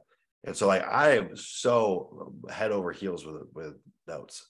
No, I mean like if anyone wants to sell me notes, I'll buy your notes. I love notes, notes, notes, notes. No, I would never sell a note. Now the counter to that is well, Sumner, you could sell the notes at 80% and then redeploy the, the money back in your business and grow from there. And yeah, there, there's truth to that, but there's a lot of complexity that comes with that too that that might not be factored in. Sure. So to go deploy all that money for cash sales is going to be really hard. Um, uh, yeah, owner financing all day long. I'm I'm in love with it. Got it. Uh, Ray says your longest term in all your properties is 12 months. No, no, no. So uh, Ray, I'm talking about getting my basis back. So let, let's say uh, we, we just sold a deal this week that's like a seven month term. That's very rare. The guy's paying us 10 grand a month. Most of them are five years, three to five years, somewhere in that range is pretty uh, common. I'm talking about the basis. So let's say I spend 20 on it. Let's say I get uh 10,000 down and then I get like 800 a month or whatever that comes out to. And then I capture my basis in, in 12 months. So down payment plus, plus the cash flow over whatever time to get my basis back. So really with those, you're really looking more. Oh, sorry. You're really I'm a little under the weather. You're looking a little bit more at IRR, internal rate of return. So less about the ROI and more about how quickly can you recapture that that money. Um, but yeah, Ari, I I have in my an aha about either starting a, a second business or steering my ship in a totally different direction and just going maniac mode on owner financing. Um, well, it's it's funny because the other mastermind that I was part of, where it was it was basically just like hardly any market research, um, just go offer on people's properties, and then sell it on owner, owner financing. Uh, the goal is just sell it to whoever you can, not to you know somebody who can can even offer cash. And so the idea is no credit check, no any due diligence on the person you're talking to other than signing a contract and then paying you. And then and that can happen through Facebook Marketplace. That can happen through a uh, what do they call them? Um, a bandit sign, literally anything. And then someone calls you, you have a conversation, you email them, you owner finance it, and then you default potentially, and then you do it again. Um, so I don't know. It's not my favorite route, but I, I can't help but see the potential of making my job's income through it and then just continuously investing in my my business. So. Yeah so that's a i mean that's a little different than our strategy. That's like the the the low iq version. Oh, it's fucked up but like it's like the it, it is like the very very rudimentary oh, basic oh, approach. Yeah. so it's like the play there is you go and buy a cheap desert square in the middle of nowhere. You put yeah. 99 down, 99 a month. You sell it to someone who's in a dire situation, like people literally yeah. running from the cops. We sold like that's what we did for years. I don't like that business. And you're, you're what I don't like about that either is you've got a portfolio of like low intrinsic value junk kind of. Yeah. So for owner financing, I've, I'm, I'm more of a fan of still going the mid market route, uh, or, or maybe a little bit lower. I mean, you could do like maybe 10K to 200K kind of range. But what I've noticed with that, just like we're able to get more cash sales, we're also able to get way bigger down payments. So, like on those smaller deals, we might get one to 5% of the down for the purchase price. But on the bigger deals, we're getting like 20 to 25%. Yeah. Um, and so it actually plays out like usually it's a better uh, payback period, not always, but typically. Uh, yeah, and they're, yeah, they're much sturdier buyers. The other thing is those notes those people are creating, really can't be sold. Like no one really no one wants to buy land contracts. And if they're going to buy them, they'll buy them at like 40 or 50% of their value. So to get 80%, it's got to be a great property with a big down payment and it's got to be a, a deed of trust. Got it. Good yeah. to know. Thank you. Yeah. Yeah, of course. Well, any more questions, y'all? Anything else uh, you guys want to work through while we're all hanging out here? Oh, Mr. Ray McLeod, you got one more? Oh, hey Ray, I think you're uh, muted. Sorry. Hey Ray, I think you're muted, brother. Sorry, I could have typed it out in the chat. I'm just lazy. Um, is owner financing something that the LIA hard money lenders would go for? Like, would they ever be cool with recapturing their basis in 12 or 14 months? Or is that kind of not something they'd be interested in? Maybe for a higher. For, Yeah, so uh, hard money people is on the debt side, the joint venture side. So like hard money, what's nice is you got full latitude. It's like the guy Eric that's coming on on Wednesday, he's a hard money lender. And so you're just paying debt. So he doesn't get equity in the deal and he has no say in what you do with it. So what's cool about that is you're paying one and a half percent interest a month. So you could go get a deal, sell on owner financing terms, you get your basis back in six months, you pay him off, and you're paying nine percent on the money. And so that's really cool. That's what's nice about debt is you you have full latitude in what you do with the deal. When it comes to joint venture funding where someone has equity in the deal, most deal funders are not super apt to do it. I've done it with deal funders, and like some will. If it's a smoking hot deal, I think it's definitely contextual. So if it's a smoking hot deal, they get their bases back quick. They can be okay with it, but I think they really want to gear people towards getting cash deals. More the the trouble with that too is managing the note. So one, if you're the guy managing the note and paying them, it's a bit of a headache. But also, what happens if you just skip Dodge and stop paying them? So you're you're getting in a long term relationship that might last five years. They don't know if you're going to be in the land business in five years. and So I think there's risk for them there. And then vice versa, if they're managing the note, well, then if they have to deal with all their investors, it becomes really complex. So we probably have like 10 notes with deal funders. And I've pretty much sworn that I never want to do it again. It's just it's a headache. It's a real headache. Um, so yeah, I'm I'm less inclined. But what I know with deal funders is it, just depends. And so if you get an offer that's owner financing and it's smoking hot, they'll say yes or they'll say no. I think like the, the kicker there is also the payback period. So if you get your down payment back, they might be okay with it. Um, but if it's like, hey, it's gonna take 12 months, they would rather take a lower cash offer because for them, like when we look at velocity of capital, well, they look at it at a whole nother level. That's the only thing that matters. So they would rather go take 10% on the deal and then or even break even and go do a bunch more deals. That's usually more their mindset. Um, so, that's why debt is so attractive. One, because it's way cheaper cost of capital, but, but you've got full latitude in what you can do with the deal, um, whether it's value add, whether it's owner finance. So when I was talking about doing the big owner finance play, the only way I could do it would be with debt. Debt meaning a hard money guy that just wants points and doesn't care about the, he, he's sitting exactly. outside the deal. He's just an equity partner. Yeah. So the guy Eric that's coming on, he's like a little more of like a legit hard money lender, which we'll talk about the differences here. So he's usually looking at ideally a 12 month payback. I think you can extend. I don't think he cares too much because he's just you know accruing interest. But I think 12 months is kind of the standard. Um, it's one and a half percent a month, which is cheap relative to equity, but it is still pricey. You know, 18% a year. The best debt is private debt. So you find like a family office or a friend or a colleague, or you pool people's money together, which you need to create a fund if you do that. But what's typical there is like seven to 12%. Um, and then you could set the, the terms for whatever you want. And most people are really inclined to do that because it's a sure thing. You can collateralize it if you have collateral. It's probably better than the stock market right now. Um, and so people are really a big fan of that. But you won't find uh, like by Googling hard money lenders, you'll get the guys that are like businesses and they're going to be a little more aggressive with their rates. So my dream situation is going and creating like a land banking fund. So what I would like to do is go and raise, let's say, $10 million that I'll pay back in 10 years. And the expectation is that I'm buying properties to hold long term. And so either I could flip them quick, I could land bank and let them appreciate, or I could owner finance them. That's the best case scenario. The one thing you have to be mindful of though is servicing the debt. So you got to make sure because they're going to want you to pay the, the interest annually, quarterly, or monthly. And so you got to make sure you can service that debt. How would you collateralize that? Would you put that? Do you put them in first lien position on the property? Yeah, so you could do that. What I would do though, and this isn't, I mean, if you're just starting, this this it doesn't necessarily apply, but I would collateralize my note portfolio. So I think right now, uh, I think we have like 1.5 million or 1.7 million in notes. So I could use that as collateral. Gotcha. Um, but you could do, I mean, if you got any other assets, you could use that, or you could give them a first lien on the on the property, which I think might get complex at scale though. Yeah, definitely. Cool. All right, thanks. Man. And he, this guy's gonna be on Wednesday on the Wednesday yeah. call. Maybe be on Wednesday. So his name is Eric. So he's a note buyer. So that's actually really why we're bringing him on. So kind of to Ari's point and to my point, everyone needs to be offering owner financing. I I just don't think it's a, a something that you get to really decide.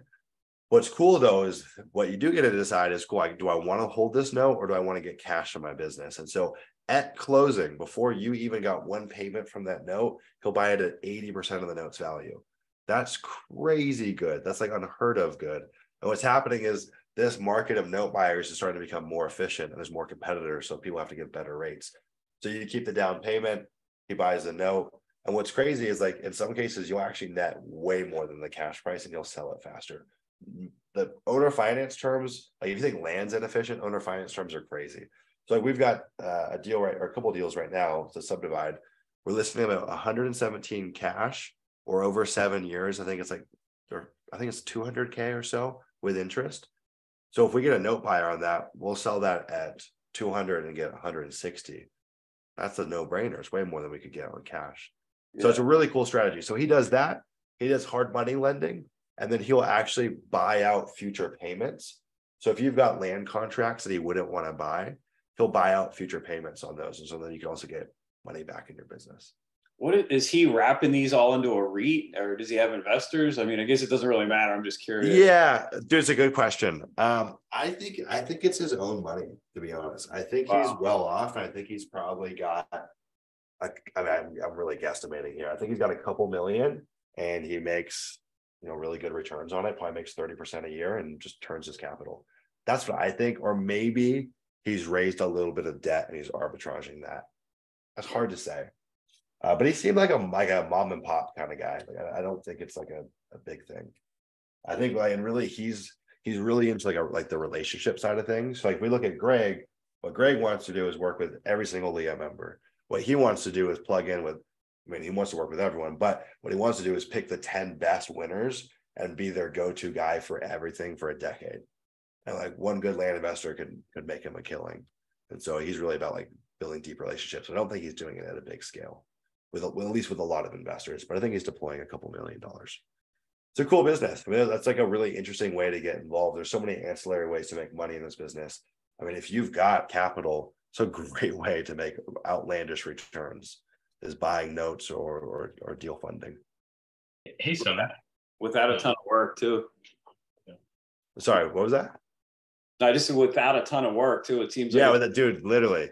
I mean, like it's. I the deal funding space is starting to become a little more competitive, but I know some people that have been making millions of dollars a year just funding people's deals. It's like no work, dude. All you got to do is have a funnel to find land investors, right? That's not too difficult. That's it's a crazy business. But over time, those rates have compressed. So joint venture in the back in the day, standard was 50-50. Now standard's like 65-35. That's going to start to raise, I think. Cool. Go ahead, Ari. It's all you yeah, you're, no, you're all good. This might be this is on the hard lending topic, but it all it honestly might not be for right now. If you're feeling feeling under the weather too. Uh, you might want to just keep it for after that call on Wednesday, but I just put it in the chat. I'm just really curious what this hard uh, hard money lending option does for a land investor. Um, yeah, I, I, put it in the chat there for you, but I feel like it can be, it can either be very dangerous or very, very lucrative. Yeah, there's risk involved. Uh, I mean, anytime you're taking on debt, there's risk involved. I typically would not advise new land investors to take on debt. Um, okay. I don't think. I mean, some of these questions in here I don't think are true. So, like, okay, is it trying to force a deal? No. I mean, again, like if you're if if you trust your judgment, you've been educated. I think okay. more times than not, you're probably more right than a deal funder. You guys have different buy boxes, right? And so whether it's because there's not enough margin or there's just a little bit of risk in the deal that they don't like, I when we get deals denied, that I'm like, it's yeah. a great deal. we yeah. had a, we had a deal in Washington that we're buying at oh god, I can't remember. I'm gonna, I'm gonna say 25. I think it's 25, and the closest comp sold at 90. This is not the same exact property, so I think it's probably worth 70, and they turned it down because they didn't like the road act. They didn't like the dirt road leading to it. I'm like, dude, worst case we sell this at 50, but I think we can yeah. get a little bit more than that. So they they got all sorts of rhymes and reasons, but that also allows you to do deals that have compressed margins. So it's like, yeah, I was thinking well, that for the double close question there I yeah, like, so like buying for a 30, selling for 50, deal funders mm-hmm. don't want to do that. But with that, why the heck not, especially in a hot yeah. market? But yeah, I mean, you got to know know your stuff, right? And so yeah. I, usually for new people, I wouldn't recommend it. One of the beauties of deal funders is they're a sounding board, so they can say yes, yeah. no, and give you additional confirmation. And their due diligence is deeper than most land investors. but I still think they have different requirements. They're looking at different things. Would I have done that back in the day when I started? When I first started, probably not, but pretty quickly I, I, I would have. I wouldn't have gone and raised crazy amounts of money, but on one-off deals, yeah. Because dude, think about the worst case. The worst case is I go, let's say I do a deal and I buy at 20, think I'm going to sell it at 40. I end up selling it at 25 because something terrible happened. I had to pay, let's say 15% on that. So I walk away with two grand. That's like the worst. I mean, like we've got so much cushion here in most cases that the worst yeah. case ain't, ain't that bad. What's not going to happen is the deal never sells and you've got to pay them back the 25K plus 18% or 20K, whatever it was. Um, so we only do this on deals that we're 100% sure are, are fire bangers. Um, yeah, yeah, I think so. I think so. I think, especially in this market, I think everyone should just be doing fire bangers. I was thinking like this subdivide, for example. I was afraid it was just going to fall fall with the with the funders because, um, I mean, I've gotten Steve and Greg to respond to it, but it's it's more just like I feel like if I were them or in their shoes, I'd be thinking, well, a question a day, you know. Yeah, I don't, I don't think we're not going to. If we do that deal together, we're not going to use uh, deal funders. Right, right. And so like when I when I submitted it to them initially, um, they were asking smaller or like other questions like like how many subdivides have you done? Yeah. And and I'm just like, oh man, just focus on the focus on the deal. Don't focus on me. I mean, I'm I'm gonna make it happen. I know they don't know me, but I get why. Yeah, there's merit to that question. Yeah. I mean, they're not they're not wrong to ask that question. Absolutely. any means. There's definitely a lot more complexity to doing a subdivide. So that's the thing with yeah with JVers. I mean, like they they serve a great purpose, but they're not your one size fits all for everything. In fact, no public deal funder, anyone that gives you debt or anyone that funds deals for for equity, those are never going to be your guys' go-to. Those are to give you guys a launch pad. They give you guys options. Like those guys in the group that are, that are, have other money, but they still lean on joint venture when they need to. It's like a really nice thing to have in your arsenal. But God, no, you don't want to do that long term. Like they give you no flexibility, no creativity. They take a lot of money. Like it's like it's not an ideal situation. So when it comes to a deal like this, I would pretty much never give up equity to a deal funder. Never, ever, ever. So this will be a, a debt route. Um, so yeah, does this make close uh, double closings obsolete? Heck no, man. Heck no. Double closings all day. Double closings all day. No. But would you definitely... do this in like Colorado? Since what? you since I like like use hard money because nobody's apparently able to do a double closing. No, that's right bullshit, now. dude. People just aren't looking hard enough. I use a realtor. We're, we're doing a double close right now in Colorado. You just well, I guess the issue is uh, POA or something. Oh, are you saying instead of using like a service? No, they're talking about in Colorado. The issue is is using the flat fee MLS won't let them, won't let them do it. I think or something got like it. that. Got it, got. Um, I don't know if it's a POA issue, but yeah, there's workarounds for that. But no, yeah, the only time, like if you wanted to put this up with a double closing, the only time would be if there's urgency to close fast. The seller doesn't want to do a double close. It's such a smoking hot deal that you don't want to risk the deal with a double close. Sure. Two, uh, none of like none of these funding strategies we've talked about here make one another obsolete. They okay. all have their time. There's just place. more tools. Yeah, there's more tools. But the north star that everyone should be working to, this is not relevant to where anyone's at currently, and minus maybe Chad. Um, the North Star that everyone should eventually be working to is raising like private money, like cheap money. That's that's like the rocket fuel. But in order to do that, you need to have really clear forecasting and you need to have a track record. One to even raise the money, but then to even know how much do I raise? What's the risk of raising that? Because it's pretty much going to be debt almost always. And so that becomes really tricky if you're like, I don't know how much I need, and you raise too much, you can't deploy it, and yada yada yada. Um, so yeah. Got it. Sweet. Well, I appreciate the answers, man. Yeah, of course. All right. Well, it looks like we got the skeleton crew here, the stragglers. Well, I appreciate everyone making the time. Anyone have any fun plans for the weekend? No, nothing exciting. Who's who's working on their land business this weekend? Hmm. Yeah.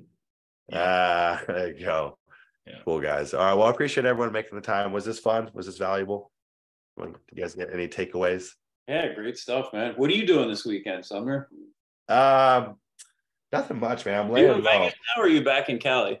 No, I'm I'm in Las Vegas right now. So next week I'm gonna fly up to Monterey and spend some time with my mom. Um, she just got back from France. Nice. And so I want to go hang out with her for a little bit. I'm actually going to help her move into a new house and then come back here and then move to San Diego uh, June 1st or no, sorry, move? July 1st. Huh? Move? I mean, temporarily. Uh, My girlfriend and I kept like a little apartment in Pacific. Oh, Beach. okay. Oh yeah, spend, spend the summer, not legit move, but I was um, like, man, you hate it there. no, I you know I'm very neutral on Las Vegas. It's not my place, but it's not a bad place. Um, You there I- for tax purposes? yeah, just for tax purposes. The area we're in, I wish I could turn my computer around. The area we're in is beautiful. Like Oh, literally outside of my window is just huge mountains that are like a block away. So like we're the last, the, like the last street in Vegas, running up to the Red Rocks. Um, so it's a really pretty, really quiet. Frankly, the people are pretty stupid here, though. Like, dude, the the Yeah. the median IQ in Vegas is low. I really don't vibe with the people. It's funny Um, because that's where the casinos are, man. yeah, because you just got a lot of gambler type, strip club type. That is not my not my kind of not my dojo. Super Uh, jealous you're going to Monterey though. yeah, dude. I, yeah, I'm excited to be back. I'll, I'll have to send you guys some pictures. Monterey's the bee's knees. Ray, have you ever been to Monterey? I know you're just a little north. Yeah, yeah, a bunch of times. I love Monterey. I love that whole area. Big Sur, Monterey. Yeah. beautiful there. So good, man. I'm so excited. There's no place like it. I Yeah, swear, I you, you get up to- there, the I air is better. there. Like everything's like HD. The air's clean, clear. It's Yeah. a magical place. I always, I'm a big fan of uh, Steinbeck. So I always, Yeah. when I'm away, I always read So- stuff, and it makes me so reminiscent. My wife's uh, aunt actually works at the Steinbeck Center in Salinas. Oh, uh, yeah, yeah. where- yeah, and, and Ryland, and you know Ryland's from there, but but yeah, it's it's actually really, it's, dude, I miss home so bad. Are you thinking I'm- about moving back there anytime soon? Oh, I could never do that. Um, Where are you from Just- originally, you? I'm from Monterey. Yeah, so oh, I didn't know that. Okay. Yeah. So I just first of all, tax purposes, I'm already thinking like, how am I supposed to give or put aside 30% of everything I make in this business? Yeah. Like Yeah. that is just crazy to me. So I've been talking to Dennis about how to bank that into an asset and Yes. and de- devalue uh what's it called? Deappreciate Appreciate it. Yeah. yeah, depreciate it. And um yeah, I'm just thinking to myself, how could I go back to California, man? They've got some high taxes. it's horrible, dude. It's horrible. Yeah. So I, Yeah. I don't think we're gonna. I, yeah. I, so what I think is gonna happen is my parents are gonna actually um, follow us. So they're gonna retire in a couple of years. They're gonna follow us out either to Oklahoma or somewhere else, wherever we Yeah. decide. And then we're using their house as kind of a home base where we can kind of go back and forth. So, yeah, that's, that's spot on. It's exactly what I rationalized is that it's way better to be a visitor in California than to like necessarily live there. And so spend the summer there or or whatever, visit family. Yeah. Yeah, it works out to be pretty much the same, or kind of it's not the same, but it, it works out. But Ray, what I was gonna say was interesting. So Ari's from Monterey, uh Ryland's from Monterey. We've got like two other people that are inside the course, not inside the coaching program that are from Monterey. And then Michael Bull and Colton are from the Bay Area. So like Oh, those guys. of are- yeah, really weird. A lot of people from Central California or Northern California. Are they still here? Like Michael's here? Here? No, uh, Michael and Colton are in San Diego. I don't think any of them are still in Yeah. that area. Like uh, Ryland's in Florida. Everyone gets out for taxes or for sunny weather. You know, it does get a little cold in the Bay Area, a little foggy. It's So- still freezing here, man. It was Yeah, like dude, it's, 92 today. crazy. What are you in Oakland? I'm in Oakland now, yeah. But I lived in San Francisco for 24 years. But Oh I wow, moved to LA to go work, or I moved to LA for three years, um, and then moved back to the Bay because I got the job at Lucid and they paid for me to relocate up here. So I've been back since. dude. Do you like uh, Lucid cars? My neighbor's got one. I think they're pretty badass. The car itself is phenomenal. Okay, better It- than a Tesla. Oh, dude! By I know you have a Tesla, so I don't want to talk smack. But no, talk ev- talk bad, man. I'm here for by every metric possible, it's a better car. Than That's what I've heard. So Peter Rawlinson, the CEO, he was the chief engineer on the Model S project with Tesla. He he didn't get along with Elon. That's uh, putting it lightly, and he started his own company. Um, so the car itself is the fact that it's their first car out of the gate and it's that good is is mind blowing. I used to take one home almost every weekend when I was working there. Oh, sick. it's amazing, Oh, dude. It's eleven hundred horsepower. it's ridiculous. It's so freaking crazy. So man. it's way faster than a Tesla. How do you even put that much power down to the road, though? It seems like it's just torque vectoring. It's all computer nannies. Like if you Oh, took really? all that stuff off, Yeah, nine out of 99 out of 100 drivers would go straight into a ditch with that car. Like it would have too much power. But as soon as the car starts sliding, it'll add torque to one wheel, take away Yeah. to another, slow it down. It'll keep you like you can be an idiot and drive that car pretty fast. Really? It'll take care of you. I want to test drive one, man. I've heard really good things. My uh, my dad's on the wait list for uh, a Rivian, which I think those Yeah. pretty cool. My buddy works there. Those- yeah, He he yeah, he got an insane discount on a Rivian. He loves it. I mean, I think they're in, badass, man. Once you drive an electric car for day to day driving, there's no argument. Like they, it is superior on every level. I will say, if you like cars, I mean, internal combustion engines are cool. Like the noise, the drama, that's, uh, that, that is a different experience. But for day to day use, oh my god, electric cars are the bee's knees, man. It's crazy it's taking us this long to get here. But yeah, I, I've heard that from all standards, Lucids are are, are better cars. But as a, as a company, they're in bad shape, man. They're But I've heard, yeah. What's going on? Well, they're hemorrhaging money, right? They laid off 25% of their workforce. Yeah. Um, they're losing. So on the first, uh, what is it, the first quarter of 23, they were upside down. I forget how many millions of dollars, but it worked out to be eight points. They're losing $8.6 million a day right now. Um, and it's because they weren't able to ramp up production. The manufacturing facility in Arizona is still only like 20%, 25% built out. Yeah. Weren't able to ramp that up, get cars across the line fast enough. And we're in a pretty terrible economy right now. And they're trying to sell $100,000 cars in a terrible economy. Yeah. So the sales numbers are much lower than they anticipated, and production numbers, you know, production levels way down too. So Yeah. Dude, isn't this like the same story though that Tesla went through when they were first starting? Like for years. Yeah, dude, they were like everyone thought they were gonna fail. I mean, it's pretty miraculous that they pulled it off. Uh, but it seems to be. I mean, if you're a new like electric manufacturer in the U.S., I mean, what a f- crazy feat. That's not an easy thing to pull off. No, for any not. car manufacturer in the U.S. that's brand new. But I'm yeah, I'm rooting for all the electric cars, man. I'll have to test drive ones, but they're pretty cool. I think But- if you, make, if you make it up to the bay, dude, I'll grab one from. okay, they still they still let you get one. Um, they won't let me drive it, but I'll have my buddy. Well, I mean, they, they'll give it to my buddy, and then we can drive it once. We Okay, okay.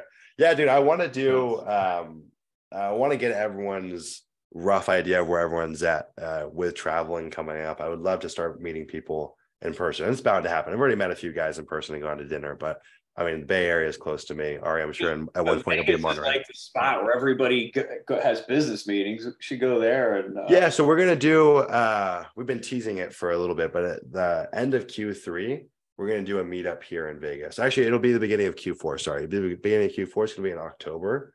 So we're gonna do like a little weekend hangout. So there's two different ways to go about it, and I was thinking like, ah, mastermind route. That's what everyone talks about, and we're certainly gonna talk land. But I think what I'm more inclined to do is a weekend of like camaraderie. So getting everyone together and just hanging out, opposed to let's just talk shop all weekend. Um, and so just getting everyone here, talking shop, obviously, but like doing some fun stuff, getting like an Airbnb, driving some cars. I don't know, do something fun. that So sounds awesome. yeah, you we're gotta gonna get some release LIA brand uh, swag. What, what's up? You gotta get some LIA brand swag. Yeah, do you guys want to know something funny? I gotta hop off after this. I'm supposed to take my girlfriend to, on a date. She's- Oh, We're supposed to leave at six, go, but uh, uh, I tend to get sidetracked on these calls. She's always like, "Dude, why do you stay on these calls for three hours?" I'm like, "Well, I got a lot to say." Um, what was I gonna say? Uh, oh yeah, So- yeah.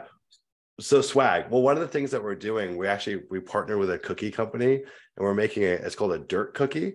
And so anytime someone joins the program, they get this half dozen of dirt cookies sent to them. Uh, but I've thought about making like a t-shirt or a hat, not with like the LIA logo. I think that's boring, but like something that just a land investor would know, some kind of like in, inside baseball term, I think would be pretty cool. So we'll to, if you guys have any like land quips that you think would be good on a shirt, Yeah. Jack Bosch has these super cheese dick like baseball hats that say um, "cat land cash profits" or something. They're so they're so horrible. dude the, the marketing of like the quote unquote competitors in this industry is just so cringe man